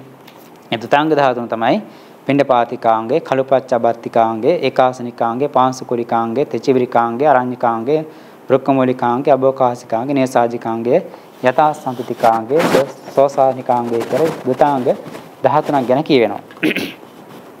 ওই දුතාංග 13 උත්කෘෂ්ඨ වශයෙන් පුරපු ස්වාමින්වහන්සේ තමයි මහා කාශ්‍යප මහ රහතන් වහන්සේ. උන්වහන්සේ දුතාංගදාර භික්ෂුන් වහන්සේලා අතරින් රහතන් වහන්සේ අතරින් අග්‍ර වුණේ මහා කාශ්‍යප මහ රහතන් වහන්සේ. ඊතර මේ දුතාංග හා සම්බන්ධ පුද්ගලයෝ ගැන කතා කරනවා. ඒ දුතාංග ධාතුන් තමයි තියෙන්නේ. එයින් පිණ්ඩපාතිකාංගේ, කලුපච්චා බත්තිකාංගේ, ඒකාසනිකාංගේ කියපු ඒ තුන. ඊට පස්සේ ඒ තුන ඇවිල්ලා පිණ්ඩපාති හා සම්බන්ධයි. පිණ්ඩපාති හා සම්බන්ධයි. මෙතන 11ක් විතර සඳහන් වෙලා තියෙන දෙකක් ඇතුළත් වෙලා නැහැ.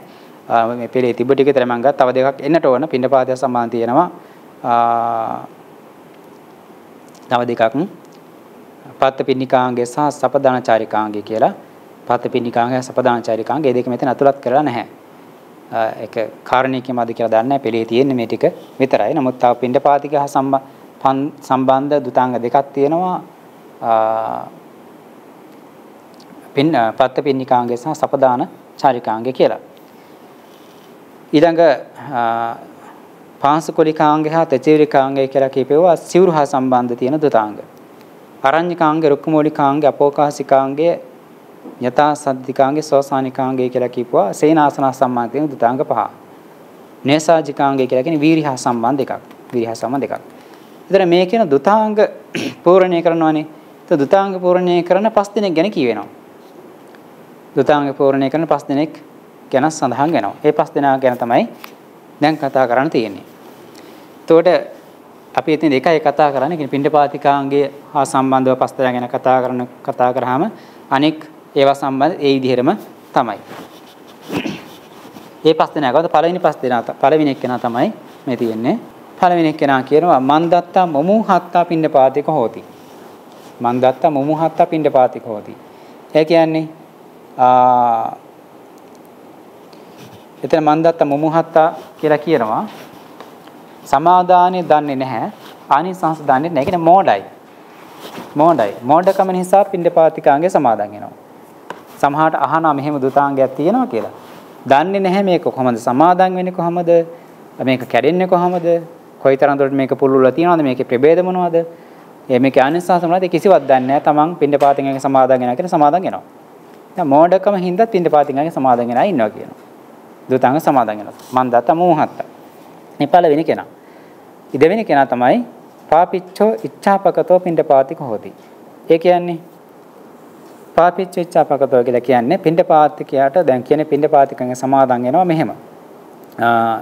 මම මේ පින්ඩපාතිකෙන් සමාදන් වුණාම ඒ දකින්න කට්ටිය හිතයි මා මේ උන්වහන්සේ බොහොම අල්පේච්ච කෙනෙක්, බොහොම ශික්ෂාකාමී කෙනෙක්. බොහොම අපිස් කෙනෙක්. ලැජ්ජා බය ඇති කෙනෙක් කියලා මිනිස්සු සිව්පස්යෙන් උපස්ථාන කරයි.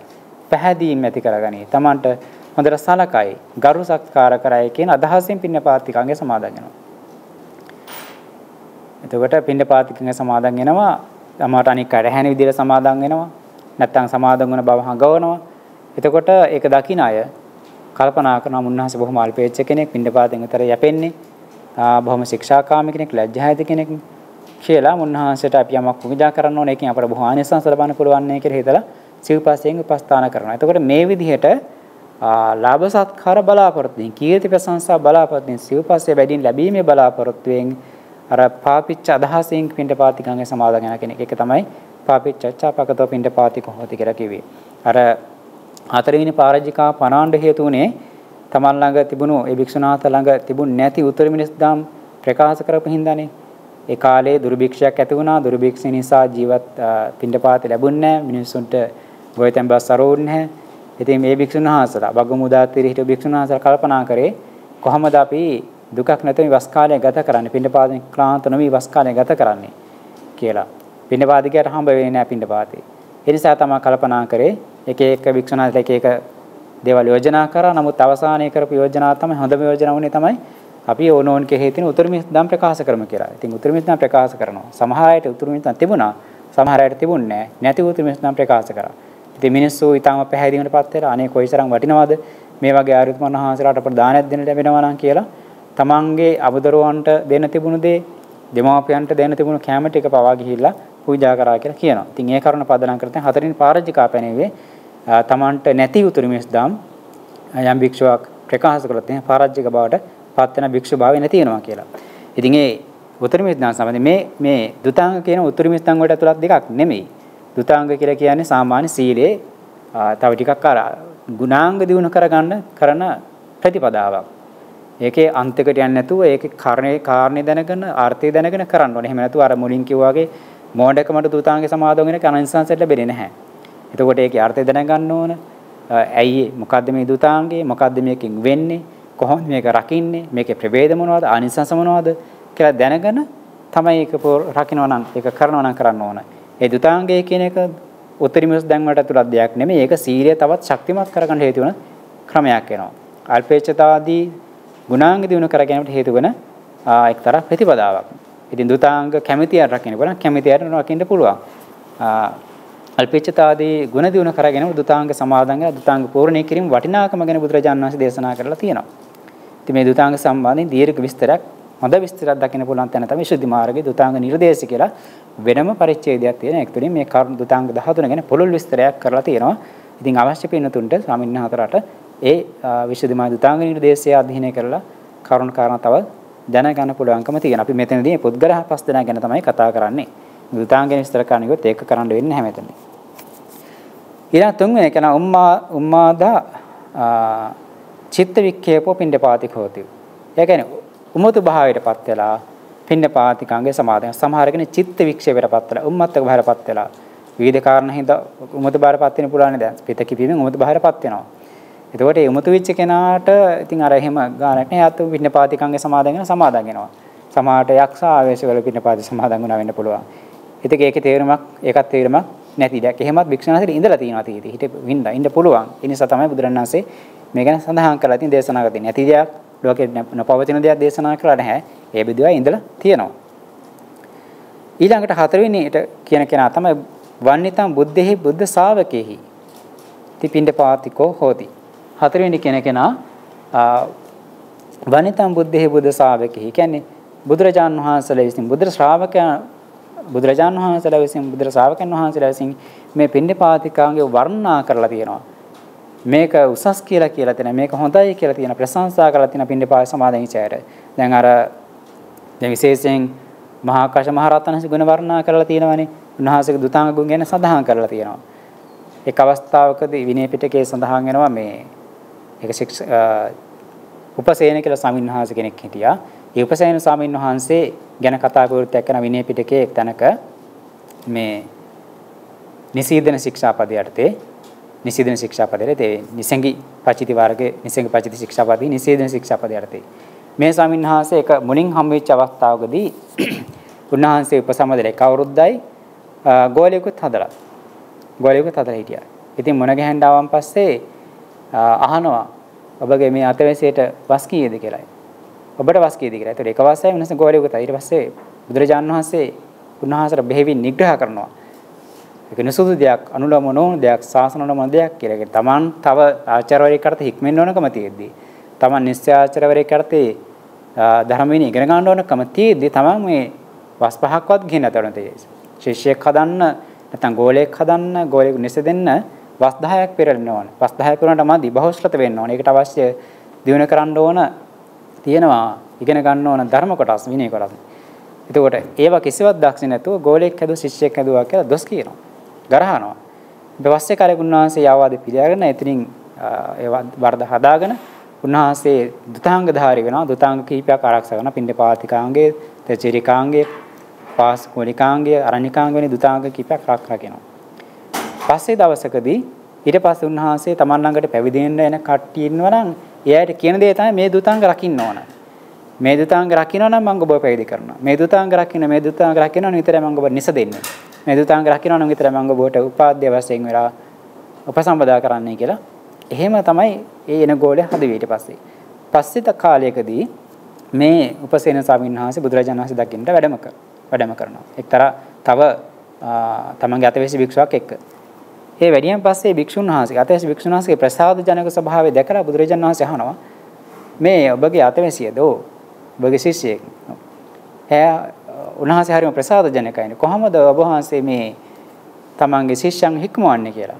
එතකොට උන්වහන්සේ බුදුරජාණන් ඉදිරියේ කියන මම ස්වාමීනි මේ විදිහටයි මගේ ශිෂ්‍යයන් හික්මන්නේ. යම් කෙනෙක් ආවොත් මල් ළඟ පැවිදි වෙන්න මම එයාට කියන්නේ මෙන්න මේ දුතාංග ටික සමාදන් වෙනවා නම් දුතාංග රකින්න විතරයි මම ඔබව පැවිදි කරන්නේ. යම් කෙනෙක් ඇවෙනවා නම් මගේ නිස ගන්න කියලා නිස සමාදන් වෙන මේ දුතාංග ටික රකින්නවා නම් මේ දුතාංග පූර්ණේ කරන විතරයි මම ඔබ නිස දෙන්නේ. කවුරු හරිලා මගෙන් උපාධ්‍යයක් තියලා නම් කෙනෙක් උපසම්පදා වෙන්නට උපාධ්‍ය වෙන්න කියලා කිව්වොත් උපසම්පදායේ උපාධ්‍යනහස කෙනෙක් ඕනනේ. ඒ උපාධ්‍යයත් ලබන්න කෙනෙක් බලාපොරොත්තු වෙනවා නම් එතකොට එයාට කියන්නේ මේ දුතාංග ටික රකින්නවා නම් පූර්ණ එක විතරයි ඔබට උපසම්පදාව සඳහා උපාධ්‍යය වෙන්නේ කියන එක. ඒ විදිහ තමයි මම තමන්ගේ මගේ ගෝලයන්ව ශිෂ්‍යයන් හික්මවන්නේ කියලා අතවැසෙන් හික්මවන්නේ කියලා ප්‍රකාශ කරනවා. ඊට පස්සේ බුදුරජාණන් වහන්සේ ඒදී සාදුකාර දෙනවා. සාදුකාර දීලා උන්වහන්සේගේ ඒ ඒ ඒ ඒ ඇති කරගත්ත ගුණේ පිටම ප්‍රශංසා කරලා විශේෂ අවසරයකුත් දෙන ඒ කාලයකට බුදුරජාණන් වහන්සේ අඩමසක් විවේකයෙන් ඉඳීම සඳහා ආරණ්‍ය වැඩම කරලා හිටියේ. එන්න අවසර දීලා තියෙ පින්නපාත කියන භික්ෂුවර විතර වෙන කාටවත් එන්නට අවසර නැහැ. ඉතින් මේ උපසේන ස්වාමීන් වහන්සේ තමන් ගැතැසි භික්ෂුවත් එක්ක මේ සවැත්නොට වැඩියන් පස්සේ වැඩලා අහනවා කොහෙද බුදුරජාණන් ඉන්නේ කියලා. වැඩි ඉන්නේ. එතකොට කියන අහවල් තැන උන්වහන්සේ දකින්න යන විදිහක් නෑ. දාන කියන යන කෙනාට විතරයි යන්න පුළුවන්නේ. අපි කතිකාවතක් ඇති කරලා තියෙන්නේ කවුරු හෝ දානය ගෙනියන භික්ෂුව හැර වෙන කෙනෙක් බුදුරජාණන් සම්මුඛයට වැඩම කරොත් එහෙම ගියොත් එහෙම ඔහු ඇවැත් දෙසිය යුතුයි කියලා. ඔහු ඇවත වරද දෙසිය යුතුයි කියලා කතිකාවතක් ඇති කරන් තියෙන කියලා. උන්වහන්සේක පිළිගන්නේ නැතුව පිළිපදින්නේ නැතුව අහන්නේ නැතුව උන්වහන්සේ බුදුරජාණන්සේගෙන් වරිනවා. වැඩියන් පස්සේ ඒ කතාව බුදුරජාණන්සේ කියන ඔබට අහන්න ලැබුණාද සවැත් නුවර භික්ෂුණී කතිකාවත කියලා. ඔහු අහන්න ලැබුණා. උන්වහන්සේලාගේ ස්වභාවයෙන් මේ කතිකාවත පේනවා කියනවා. ඒ උන්වහන්සේ වෙනකොට හොඳට ධර්මයෙන් ඉගෙනගෙන දක්ෂ වෙලා හිටපු කෙනෙක්. මොකද විනය ශික්ෂාපදයක් පනවන්න හැකියාවක් තියෙන බුදුරජාණන් වහන්සේට විතරයි. විනය ශික්ෂාපදයක් ලිහිල් කරන්න හෝ දෙඩි කරන්න හෝ අයින් කරන්න අවශ්‍ය පුළුවන්කම තියෙන බුදුරජාණන් වහන්සේ සරවචනහස විතරයි. එහෙම නැතුව භික්ෂුවකට පුළුවන්කමක් නැහැ. විනය ශික්ෂාපද ලිහිල් කරන්න හෝ දැඩි කරන්න හෝ ඒක ඕනේ නැහැ කියන්න හෝ ඒක ඒක අවශ්‍ය නැහැ කියලා ඉවත් කරන්න හෝ අමුතුවෙන් ශික්ෂාවද පනවන්න හෝ භික්ෂුවකට හැකියාවක් නැහැ. කතිකාවතක් ඇති කරන්න පුළුවන් ධාර්මික කතිකාවතක්. නමුත් මේ භික්ෂුන් වහන්සේලා කරලා තිබෙ ඇවැද්ද සිවිත කියලා. ඒකට කතිකාවත කියන කාරණාව කැඩුවක ඇවතක් වෙන්නේ නැහැ. ඒක ඇවැද්ද සම්වන කාරණාවක් නෙවෙයි. ඒක කතිකාවතක්. ඒක ධාර්මික කතිකාවතෙන් එක සමගිව එකතු වෙන්න ඕන කාරණාවක් සමගිව පිළිපදින්න කාරණාවක්. ඉතින් අතනදී ඇවතක් දෙසියුතිය කියලා කියන ඇවැද්දස්තු වරදක් බවට පත් කරලා තිබුණා. ඉතින් එතනදී බුදුරජාණන් වහන්සේ මේ උපසේන ස්වාමීන් මේ ශික්ෂාන් හික්මන ක්‍රමය ගැන පැහැදිලා සාදුකාර දීලා ඉතින් අවසරයක් දෙනවා කවුරු හරි මෙන්න මේ දුතාංග රකින්න නම් ඒ අයට පුළුවන් මාව දකින්නට එන්න කියලා. මාව දකින්නට පුළුවන් කියලා අවසරයකුත් දෙනවා. ඉතින් මේ ඔන්න ඒ විදිහේ එවැනි අවස්ථාවලදී අර දුතාංග ගැන බුදුරජාණන්සේ ප්‍රශංසා කරලා තියෙනවා. දුතාංග රකින්න භික්ෂුන් වහන්සේලාට භික්ෂුන් වහන්සේලා ප්‍රශංසා කරලා තියෙන ගුණ කියලා තියෙනවා. ඉතින් අන්න ඒ ප්‍රශංසාව නිසා ඒ ගුණය නිසා දැන් දුතාංගතර භික්ෂුන් වහන්සේ දුතාංග ගැන වර්ණනා කරනවා. මහා ආකාශ මහරහතන් දුතාංග ගැන වර්ණනා කරනවා. ඒව රැකීමේ අනිසංස කියනවා. එතකොට ඒක අහලා මේ බුදුරජාණන් වහන්සේලා විසින් බුදු ශ්‍රාවකයන් වහන්සේලා විසින් මේ දුතාංග ගැන වර්ණනා කරලා තියෙන ප්‍රශංසා කරලා තියෙනවා කියලා හිතලා දුතාංග රකින්න සමාදන් වෙනවා. එහෙම කෙනෙක් ඉන්නවා. ඒක එක් ආකාරයක්. ඊළඟට පස්වෙනි කෙනා තමයි අපිචිතඤ්ඤේව නිස්සාය. සන්තුටිතඤ්ඤ සන්තුට්ඨිඤ්ඤේව නිස්සාය, සල්ලේකඤ්ඤේව නිස්සාය, ඉදමාටිතඤ්ඤේව නිස්සාය පින්ඩපාතික හොති. ඒ කියන්නේ මේ පින්ඩපාතිකාංගේ සමාදන කෙනෙක් අල්පේච්ඡතාවයේ දිනු කරගැනීම සඳහා, සන්තුට්ඨිය දිනු කරගැනීම සඳහා, සල්ලේක භාව සහැල්ලු භාවයේ පිණිසම, විරි ආරම්භයේ පිණිසම, කෙලෙස් නැති කරගෙන උපකාර පිණිස සලකලා දුතාංගේ සමාදන් වෙනවා. තා භික්ෂුවක්. එතන මෙන්න මේ දුතාංග සමාදන් භික්ෂුන් වහන්සේලා පස් දෙනෙක් ගැන කියනවා. එයින් අර පළවෙනි කියපු තුන් දෙනා මෝඩකම හින්දා දුතාංගේ සමාදන් වෙන කෙනා ඊට පස්සේ පාල්පේච්ච අදහසින් දුතාංගේ සමාදන් වෙන කෙනා ඊළඟට ගොම්මාතක දුතාංගේ සමාදන් වෙන කෙනා තුන් දෙනා වැඩක් වෙන්නේ නෑ එක් තුන් දෙනාම බැහැර වෙනවා. ඒ කියන්නේ දුතාංග ගුණයක් වශයෙන් පූර්ණේ කරන අය නෙමෙයි. නමුත් හතරවෙනි කෙනා දුතාංග පූර්ණේදී යම්කිසි ආනිසංසයක් ලැබෙනවා. මොකද බුදුරණන්සේ හෝ ශ්‍රාවකයන් වහන්සේලා වර්ණනා කරනවා මේක හොඳ දෙයක් මේක වටින දෙයක් කියලා සරකලා යා දුතාංගේ සමාදන් එයින් හැබැයි ආනිසංසයක් තියෙනවා නැති නෑ. නමුත් භාගතුනාස වර්ණනා කරලා තියෙන්නේ අගය කරලා තියෙන්නේ උසස්සේ සම්මත දේශනා කරලා තියෙන්නේ පස්වෙනි කෙනේ. පස්වෙනි කෙනා. ඒ කියන්නේ මේ දුතාංගය යම් කෙනෙක් සමාදන් වෙන අල්පේච්ඡතාවය දිනු කරගෙන සඳහා ඊට සන්තුට්ඨිය ඇති කරගෙන සඳහා පවිවේකයේ පිණිස සහැල්ලු භාවයේ පිණිස විරියාරම්භයේ පිණිස කෙලෙස් දුර කිරීමට මේක උපකාර වෙනවා කියන අදහසින් ඒ අර්ථයේ තේරුම් අරගෙන ආනිස්සංස දැනගෙන දුතාංගයේ සමාදන් වෙනවා. ඒක යා තමයි මේ දුතාංග සමාදන් වෙච්ච පස් දෙනා අතරින් හොඳම කෙනා උසස්ම කෙනා ශ්‍රේෂ්ඨම කෙනා කියන එක බුදුරජාණන් වහන්සේ දේශනා කරලා තියෙනවා. ඒතර තුන් පළවෙනි තුන් දෙනා වැඩක්ම නැහැ. හතරෙන් කෙනා ටිකක් හොඳයි පස්වෙනි කෙනා තමයි හොඳම කෙනා. ඒක උපමාවකින් පැහැදිලි කරනවා. උපමාක අනුසාරයෙන් පැහැදිලි කරලා තියෙනවා. සේතාපි නාම ගාවා කීරං. කීරම් හා දදි. දදිම් හා නවනීතං. නවනීතම්ම සප්පි. සප්පිම සප්පි මණ්ඩෝ සප්පි මණ්ඩං තත්ත අග්ගමක් අග්ගමක් කායති ඒ කියන්නේ දැන් කිරි. අපි දෙනෙක් ගව දෙනෙක්ගෙන් කිරි දෝව ගන්නවා. කිරි ගන්නවා. ඒ කිරි වලින් මිදුණු කිරි මුදෝප කිරි හදා ගන්නවා. මුදෝප කිරි වලින් වෙඬරු හදා ගන්නවා. වෙඬරු වලින් ගෙතෙල් හදා ගන්නවා. ගෙතෙල් වලින් සපි මණ්ඩ කියන එක හදා ගන්නවා. සපි මණ්ඩ කියන එක තමයි මේ වගේ තියෙන හොඳම දේ. උසස්ම දේ කියලා හඳුන්වන්නේ. පෝෂණයෙන් අධිකම හොඳම දේ තමයි සපි මණ්ඩ කියන එක. සපි මණ්ඩේ කියන එක. ඒක තමයි මම හිතන්නේ ඔය මේ සපි මණ්ඩේ කියන තේරුම මම දැන් හැටම කියන්න. බටර් අපි අද වර්තමානයේ බටර් කියලා කියන එක වෙන්න ඕන. සපි මණ්ඩේ. ඒක තමයි උසස්ම දේ කියලා කියන්නේ මේ කිරවින් ලබාන පුළුවන් හොඳම දේ. ඒ කියන්නේ ගොඩක් කල් තියාගන්න පුළුවන් ඒක පෝෂණය හොඳයි යාගිත වශයෙන්. ඒ වගේ කියනවා පින්ඩපාතිකාංගයේ සමාදන් වූ පස් දෙනා අතරින් යම් කෙනෙක් අල්පේචතාවය හේතු කාරණා කරන සන්තුට්ටි හේතු කාරණා කරන ප්‍රවිවේක හේතු කාරණා කරන සහැල්ලු බය පිණිස විරියාරම පිණිස මේක කෙලෙස් දුර කරගෙන උපකාර වෙනවා කියන අර්ථයේ තේරුම් අරගෙන ඒ අදහසින් යම් කෙනෙක් පින්ඩපාතිකංගේ සමාදන් වෙනවා නම් එයා තමයි මේ පින්ඩපාතිකංගේ සමාද භික්ෂුන් අතර අග්‍රම කෙනා උසස්ම කෙනා ශ්‍රේෂ්ඨම කෙනා කියලා පැහැදිලි කරලා තියෙනවා. එතකොට එහෙනම් ඇත්තරම කෙනෙක් ආනිසංසයක් බලාපොරොත්තුෙන් ගුණයක් බලාපොරොත්තුෙන් පින්න පාතිකාංගේ සමාදන් වෙනවා නම් මෙන්න මේ ක්‍රමය තමයි සමාදන් වෙන්නට ඕනේ. එතකොට එහෙම සමාදන් වෙනවා නම් එයා දැනගන්න ඕන මේ පින්න පාතිකාංගේ කියන්නේ මොකද්ද කියලා හිතම කොහොමද ඒක සමාදන් වෙන්නේ? එතකොට ඒකේ ප්‍රභේද මොනවද? තියෙන ප්‍රභේද තුනක් හැම දුතාංගයක්ම තියෙනවා. ඕමක, මජ්ජිම, උත්කෘෂ්ඨ කියලා. ඒ ප්‍රභේද තුන දැනගන්න ඕන. ඒ ප්‍රභේද ඒ ඒ දුතාංග සමාදන් වෙනකොට මොනවද ලැබෙන ආනිසංස? ඒ ප්‍රභේද කොයි කොයි මට්ටමේද කැඩෙන්නේ? ඒවා දැනගන්න ඕන. ඒ ආනිසංස ලැබෙන්නේ ඒ දුතන් හැරෙට පූර්ණණය කරොත්. ඉතින් අර වගේ බුදුරජාණන්සේ වර්ණනා කරලා තියෙන ශ්‍රාවකයන්හස වර්ණනා කියලා තියෙන අර්ථයෙන් ටැක්ක පමණකින් ලැබෙන්නේ නැති වෙන්න පුළුවන්. අර ලාභ සත්කාර කීර්ති ප්‍රශංසා බලාපොරොත්තුෙන් සමාදන් වෙන කොහොමත් ආනිසල වෙන. ඒතර එයාගේ තියෙන පාපෙච්ච අදහසමයි. ඉතින් මේ දුතාන් ගැන අර විස්තර අර කියපු තැන් වලින් දැනගන්නට පුළුවන් ශුද්ධ මාර්ගයෙන් එහෙම. ඒතර ඒ ඒ ආකාරයෙන් අනෙක් පස් අනික් යුතාංග ධාරයෙන් පිළිබඳවත් ওই විදිහම දැනගන්නට පුළුවන්. එතකොට මෙතන දැන් පින්ඩපාතිකාංගයේ පින්ඩපාතිකාංගය ගැන පස් දෙනෙක් ගැන කියවනේ මේ විදිහටම කළු පච්චාබත්තිකාංගයේ සමාදගෙන පස් දෙනෙක් ඉන්නවා. ඒ වගේම ඒකාසනිකාංගයේ සමාදගෙන පස් දෙනෙක් ඉන්නවා.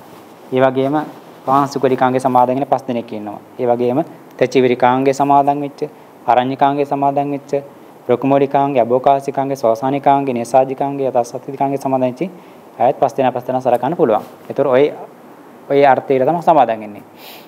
ඉතින් ඒකෙන් ආනිසංස තේරුම් අරගෙන වටිනාකම තේරුම් අරගෙන අල්පේච්ඡතාදී ගුණ දිගුණ වීම පිණිස දුතාංග සමාදන් වෙනවා නම් ඒක තමයි වටින්නේ වටිනාකම තියෙන්නේ. යාර තමයි හොඳ හොඳ ඵලයක් ප්‍රතිඵලයක් ලබා ගන්න පුළුවන්කම තියෙන්නේ කියන එක දැනගන්න ඕන. එතකොට එතනින් මේ පංචක පුද්ගල පඤ්ඤාත්තියේ පංචක නිර්දේශය අවස්ථාවක් යනවා. මම මේ දුතාංග මේ සම්මේ මේ කියපු කාරණාවන් ත්‍රිපිටකයේ මෙන්න මේ කියපු ටික මේ දුතාංග සම්බන්ධයෙන් මේ පස් දිනක් බෙදලා පෙන්නපු කාරණාව ඒ පරියායේ තවත් සූත්‍ර පිටකයේ සහ විනය පිටකයේ තැන්වල සඳහන් වෙනවා. විනය පිටකයේ පරිවාර පාළියේ උපාලි පංචකයේ දුතාංග වර්ගය කියලා වර්ගයක් තියෙනවා. ඒකෙත් මේ පස් දෙනා මේ මේ විදිහටම තියෙන විස්තරයක්. ඒ වගේම පරිවාර පාළියේ ඒකුත්තරික යේ පංචකයේ තුලත් මේ විදිහේ විස්තරයක් තියෙනවා. අංගුත්තර නිකාය පංචක නිපාති අරඤ්‍ය වර්ගයේත් මේ දුතාංග රකින්න අය මේ පස් දෙනා පිළිබඳව සඳහන් කරලා තියෙන එක් එක් දුතාංග අරගෙන ඉතින් මේ දුතාංග පිළිබඳව ලොකු විස්තරයක් කරන්න වෙන්නේ නැහැ මේ පාඩමට දාලව. ඒක පාඩමට දාලා නැති හින්දා මම නමුත් කෙටියෙන් මේ දුතාංගයේ වචනාර්ථය විතරක් පැහැදිලි කරන්න. දැන් පිණ්ඩපාතිකාංගය කියලා කියන්නේ එයා පිණ්ඩපාතෙන් යැපෙනවා කියන එක. ඒ කියන්නේ ගිහි අය සේනාසනේ ගෙනත් දෙන දානේ වළඳන්නේ නැතුව ගමේ පිණ්ඩපාත ගිහිලා ගයක් ගයක් ගානේ පිණ්ඩපාත ගිහිල්ලා දානේ උපයා ගන්න තමගේ දානේ උපයා ගන්නවා.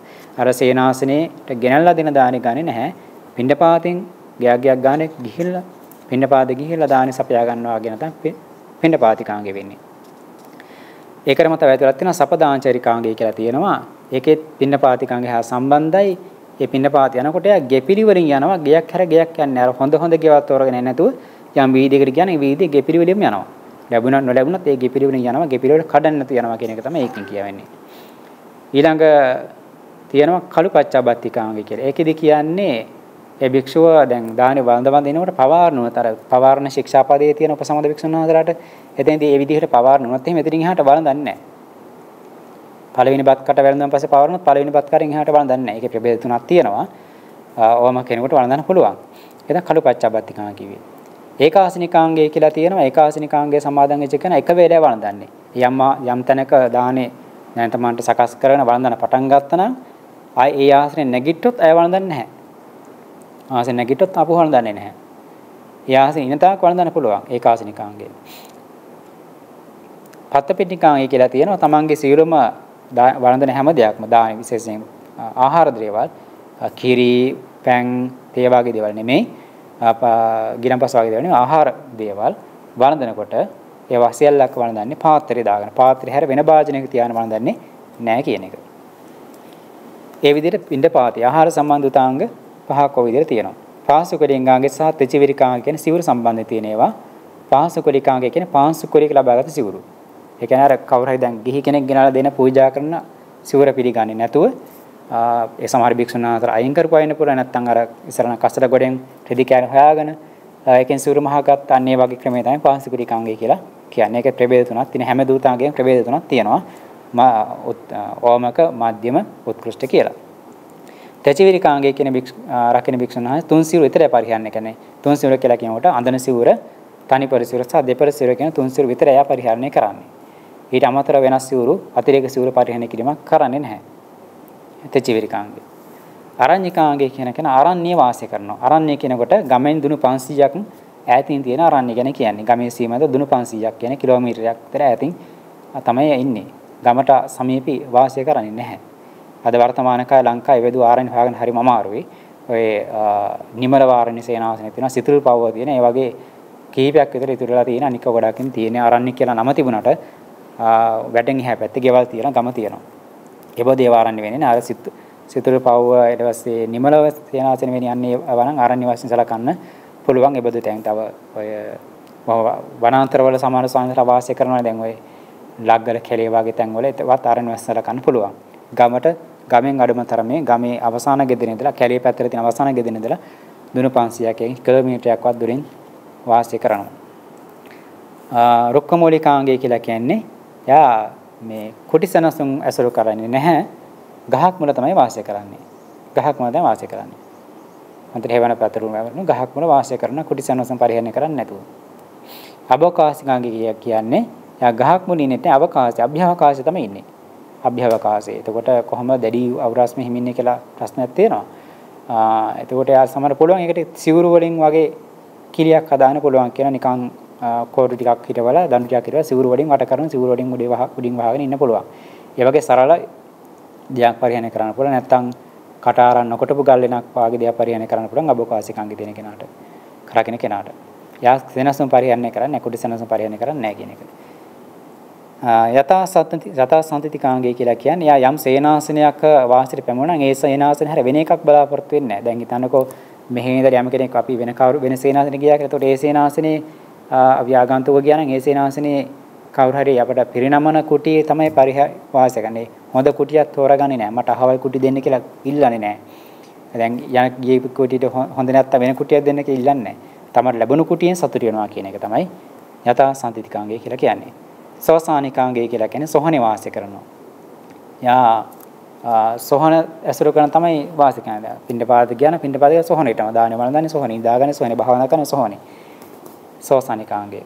ඉතින් ඒවා සමහර මුළු ජීවිත කාලෙම සුතාංග රකින්න බැරි වෙන්න පුළුවන්. යම් යම් කාලවලදී ඒ පුළුවන් විදිහට ඒව රකින්නවා. දැන් විශේෂයෙන් වර්ෂා කාලේ වර්ෂා කාලයේදී මේ අබෝකාස්තිකාංග රුක්කමූලිකාංගය සෝසානිකාංග එහෙම රකින්න බෑ. හැබැයි සෝසානිකාංග රකින්න පුළුවන් වර්ෂා කාලේ යාට සොහනේ තියන හදු පම්බලම තියෙනවනේ. සොහන් හදපු පොඩි ගියක් තියෙනවා සොහන් පාලක කියන්නේ. එහි වාසය කරන්න පුළුවන්කම තියෙනවා. ඉතින් වර්ෂා කාලේදී අබෝකාසිකාංගයේ හෝ රුක්කමූලිකාංගයේ සමාදන් වෙච්ච කෙනාට කුටියක් පරිහරණය කරන්න පුළුවන්. කුටිය පරිහරණය කරා කියලා යුද්ධතාංගේ කැඩෙන්නේ නැහැ විශේෂ ආනිසංශයක් ඒක. හැබැයි මේ වෙනදා අනික් කාලේ පුරාවටම කුටි සෙනසන පරිහරණය කරලා වස් කාලය ආරම්භ වෙනකොට අබෝකාසිකාංගයේ රුක්කමූලිකාංගේ සමාදන් වෙන එක හරියන්නේ නැහැ. ඒක වංචාවන්නේ කරන්නේ. එහෙම සමාදන් වෙන ආ දැන් වස් මම දුතාංගේ සමාදන් කරනවා දැන් මට දුතාංගේ කැඩෙන්නේ නැහැ කුටියක් පරිහරණය කරන්න පුළුවන් කියලා කුටිය පරිහරණය කරන්න බෑ. ඒක නිකන් වංචාවක් එතන කරන්න ප්‍රෝඩාවක්. ඊළඟට නේසාජිකාංගය කියලා කියන්නේ ඒක වීර්ය හා සම්බන්ධ දෙයක්. ඒ ඇවිල්ලා යා සතපන ඉරියව්ව පරිහරණය කරන්නේ නැහැ කියන එක. ඉඳගෙන හෝ වාඩි වෙන හෝ සක්මන් කරන තුන් තුන් ඉරියව් විතරයි පරිහරණය කරන්නේ. පිට දිගහරවලා නිදාගන්නේ නැහැ බිමකවත් නිදාගන්නේ නැහැ කියන එක. ඒ තමයි නේසාජිකාංගය. ඉතින් මේ නේසාජිකාංගය දුතාංග පූර්ණ කරන ස්වාමීන් වහන්සේ අතරක් දකින්න පුළුවන්කම තියෙනවා සමහර සේනාසනවල විශේෂයෙන් ওই බ්‍රහ්ම රටේ තායිලන්ත වගේ රටවල ඒ ස්වාමීන් අරණ්‍ය අරණ්‍ය වාසී වික්ෂුන් වහන්සේලා හැම මේ දුතාංග සමහර දුතාංග රකින්න ස්වාමීන් වහන්සේලා අදටත් දකින්න පුළුවන් කම තියෙනවා. ඉතින් මේ දුතාංග සම්බන්ධයෙන් පූර්ණ විස්තරයක් විශේෂ මාර්ගයේ දුතාංග නිර්දේශයෙන් පිනතුන්ට දැනගන්න ඉගෙන ගන්න පුළුවන්කම තියෙනවා. පුළුවන් අය කියවලා ඒ ගැන විස්තර දැනගන්න පුළුවන්. හොඳයි අද එතකින් අපේ මේ පුද්ගල පඤ්ඤති දේශනා සම්බන්ධ කරුණු එතරයි තියෙන්නේ. එතකින් පංචක පුද්ගල පඤ්ඤති නිර්දේශයේ වර්ණාව අවසන් වෙනවා. ඊළඟ සතිය අපි චතුක්ක නිර්දේශ වර්ණාව ආරම්භ කරනවා. ඉතින් මේ අද කතා කරපු කරුණු සම්බන්ධයෙන් යම්කිසි ගැටලුවක් නොතේරුණු තැනක් තියෙනවා නම් අහන්න පුළුවන්. පොඩි වෙලාවක් තියෙනවා. එහෙනම් තෙරුවන් සරණයි කියන්නේ. ගිහියටත් ගිහියටත් ඒවත් තමයි මේ උදාංග වගේ ඒවායේ යන්න පුළුවන් කරන්න පුළුවන් ඒවා තියෙනවා ඔව් ඒ විසුද්ධිමය දුතාංග නිර්දේශයේ ගිහි පින්නතුන්ට සමාදන් වෙන්න පුළුවන් දුතාංග දෙකක් ගැන සඳහන් වෙනවා. ඉතින් අර දැන් සිතිවිලි කාංගය පාංශුකරි කාංගය කියන ගිහියට සමාදන් වෙන්න බැහැ නකමත් එක භික්ෂුන්ට අදාළ දෙයක්. පින්ඩ පාතිකාංග කරුපාච්ච පාතිකාංගේ වගේවත් අමාරුයි. දැන් සෝ මේ සේනාසන සම්බන්ධයෙන් ගත්තාමත් සේනා සම්බන්ධයෙන් දුතාංගත් ගිහි කෙනෙකුට පූර්ණ කරන්න අමාරුනේ. තමන් හදාගත්ත නිවසක වාසය කරන හින්දා නේසාජිකාංගේ පුළුවන්කම තියෙනවා. තමන්ට හැකියාව තියෙන නේසාජිකාංගේ යම් යම් කාල සීමා පනවාගෙන හද. රකින්න පුළුවන්. නමුත් දැන් රැකියාවක් කරන කෙනෙකුට නේසාජිකාංග වගේ දෙයක් පූර්ණ කරන එකට හරි අමාරු වෙන්න පුළුවන්. ඉතින් නමුත් සමහර ඔය බොරු මෙහෙම අපි අහලා තියෙනවා.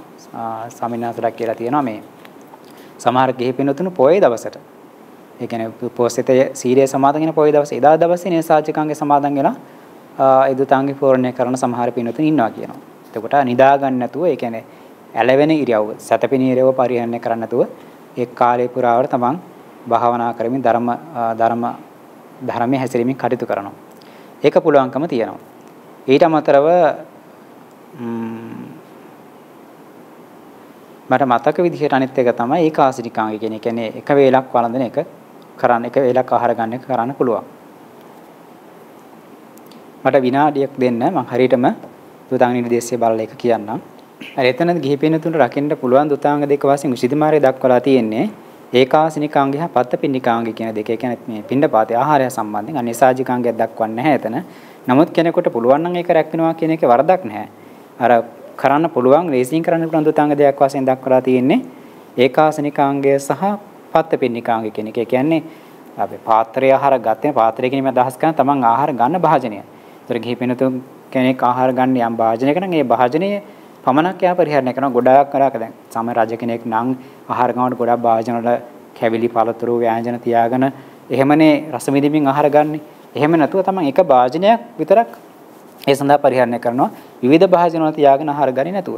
ඒක පුළුවන් කරන්න ඕන නම් ඒ කියන්නේ පත්තපින්නිකාංගය කියන. තමන් ගන්න ආහාර ගන්න යම් ප්ලේට් එක නම් තැටි එක නම් පිඟානක නම් ඒක විතරයි පරිහරණය කරන්න. ඒක තමයි අවශ්‍ය හැමදේම කැවිලිද පළතුරුද ව්‍යංජන හැමදේම තියෙන්නේ. වෙන වෙන වගේ තියාගන්න නැහැ.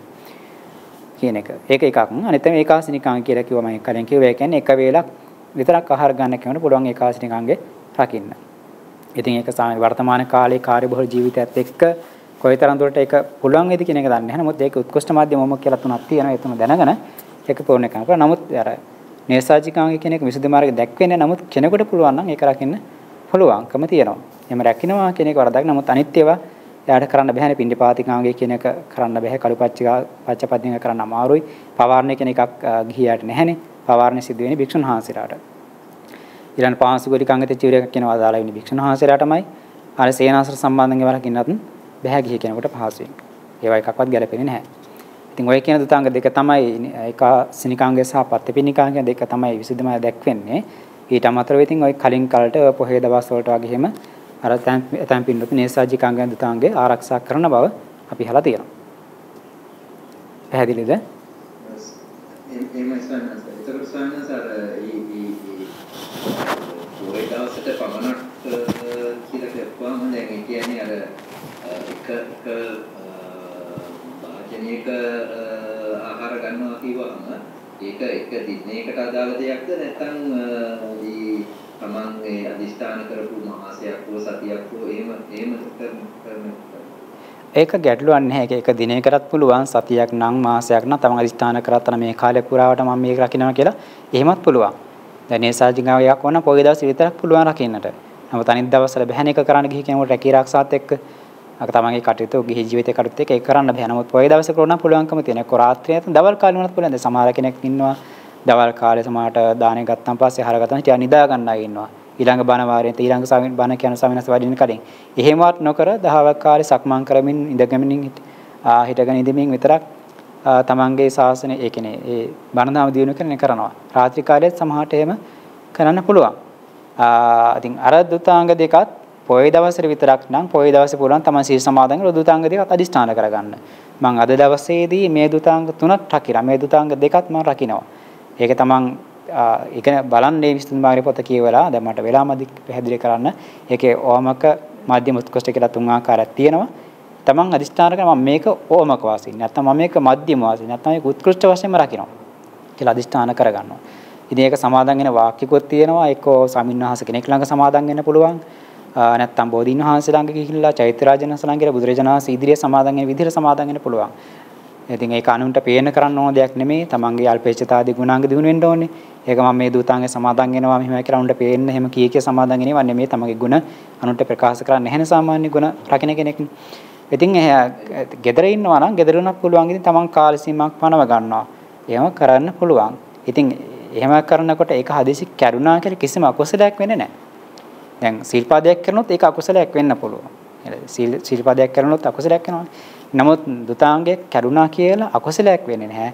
රැකීමෙන් කුසලයක් වෙනවා. රැකීමෙන් තමන් ගලපච්චතාවේ ගුණ දියුණු වෙන මිසක් ඒක හදිස්සිය කරුණා කියලා රකින්න බැරුණා කියලා නැත්තම් උත්කෘෂ්ඨවාදී ස්ථාන කරගත්ත මට උත්කෘෂ්ඨව රකින්න බැරුණා නේ කියලා එහෙම විපරිසර භාවයක් ඇති කරන්න කිසිසේත් අවශ්‍ය නැහැ. එහෙම වුණා කියලා කිසිම අකුසලයක් වෙන එකක් නෙමෙයි. ඒක තමන් පුළුවන් විදිහට රැකීම තුළ තමන්ට එකෙන් ගුණයක් දිනවන අනිසංසයක් ලැබෙනවා. ස්වාමීන් ඒකටම අමතර කරුණක් වශයෙන් දැන් මේ අපි කියමු සීලය කියලා අපි කාල භෝජන ශික්ෂාපදය අතරව රකින්න කියලා. එතකොට ඒක මේ සිතින් අධිෂ්ඨාන කරලා රකින්න විබ්බයිත ස්වාමීන් ඒ කියන්නේ ඒක සමාදන් වීම වශයෙන් වචනය කියලාම සමාදන් විය යුතුමද නැත්නම් සිතින් අධිෂ්ඨාන කරලා අපි ආරක්ෂා කරොත් එහෙමත් පුළුවන් එහෙමත් පුළුවන් සාමාන්‍ය සීලයේ තියෙන සමාදාන විරති එහෙම කියලා තියෙන විරති වෙන ආකාර කීපයක්. සමාදාන විරතියෙන් කියන අපි සමාදන් වෙලා මේක ආරක්ෂා කරනවා.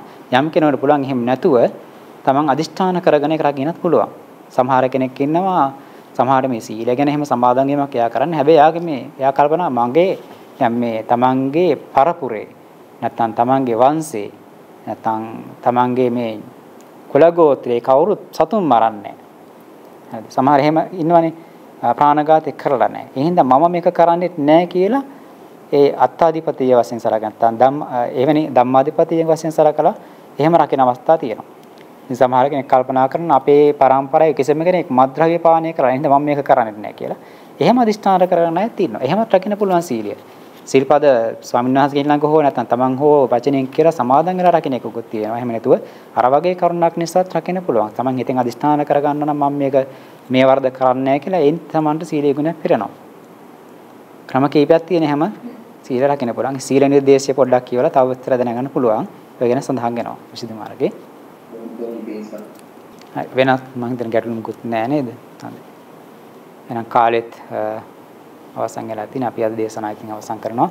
අපි අද දවසේදී මේ ධර්ම කරුණු අධ්‍යයනය කිරීමෙන් ඉගෙන ගැනීමෙන් සාකච්ඡා කිරීමෙන් සම්පාදනක උදාහර කුසල ධර්මිය අපි සෑම සිර දෙනාටමත් සදේවලෝකවා සම්මාදිට්ඨික දිව්‍ය රාජමණ්ඩලතු සියලු දිව්‍ය රාජමණ්ඩලයටත් මිය පරලෝකයේ සුණු ඥාති වර්ගයාටත් හිතමදත් අයිදසුල සත්‍යයන්ටමත් ප්‍රාර්ථනා කරන බෝධි ඥානකින් සාන්ත ලෝකෝත්තර අමාම හනිවිනේ සැනසීම පිරිසම හේතු වාසනාවේවා කියලා පින් අනුමෝදන් කරලා ඒ ප්‍රාර්ථනාවන් සිදු කරගනිමු ආකාසට්ඨාච බුම්මට්ඨා දේවානාගා මහිද්దికා පුඤ්ඤන්තං අනුමෝදිත්වා චිරන් රැක්කාන්ත සම්බුද්ධ ශාසනං ආකාසට්ඨාච බුම්මට්ඨා දේවානාගා මහිද්దికා පුඤ්ඤන්තං අනුමෝදිත්වා චිරන් රැක්කාන්ත සම්බුද්ධ දේශනං ආකාසට්ඨාච බුම්මට්ඨා දේවානාගා මහිද්దికා පුඤ්ඤන්තං අනුමෝදිත්වා චිරන් රැක්කාන්ත සම්බුද්ධ ශාවකං චිරන් රැක්කාන්ත මං පරම් නිදං ඕ ඥාතිනං හෝතු සකිතා හොන්ත ඥාතයෝ ඉදං වෝ ඥාතිනං හෝතු සුඛිතා හුන්තු ඥාතියෝ।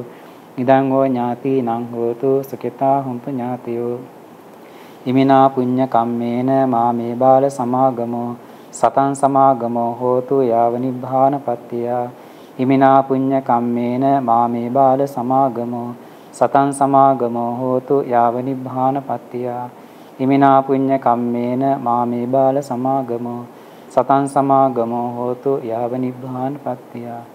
ඉදන් මේ පුඤ්ඤ කම්මං ආසවක්ඛයා භං හෝතු සබ්බ දුක්ඛා පමංචතු. බුද්ධ ශාසනං චිරන් තිට්ඨතු. බුද්ධ ශාසනං චිරන් තිට්ඨතු. බුද්ධ ශාසනං චිරන් තිට්ඨතු. සාධු සාධු සාධු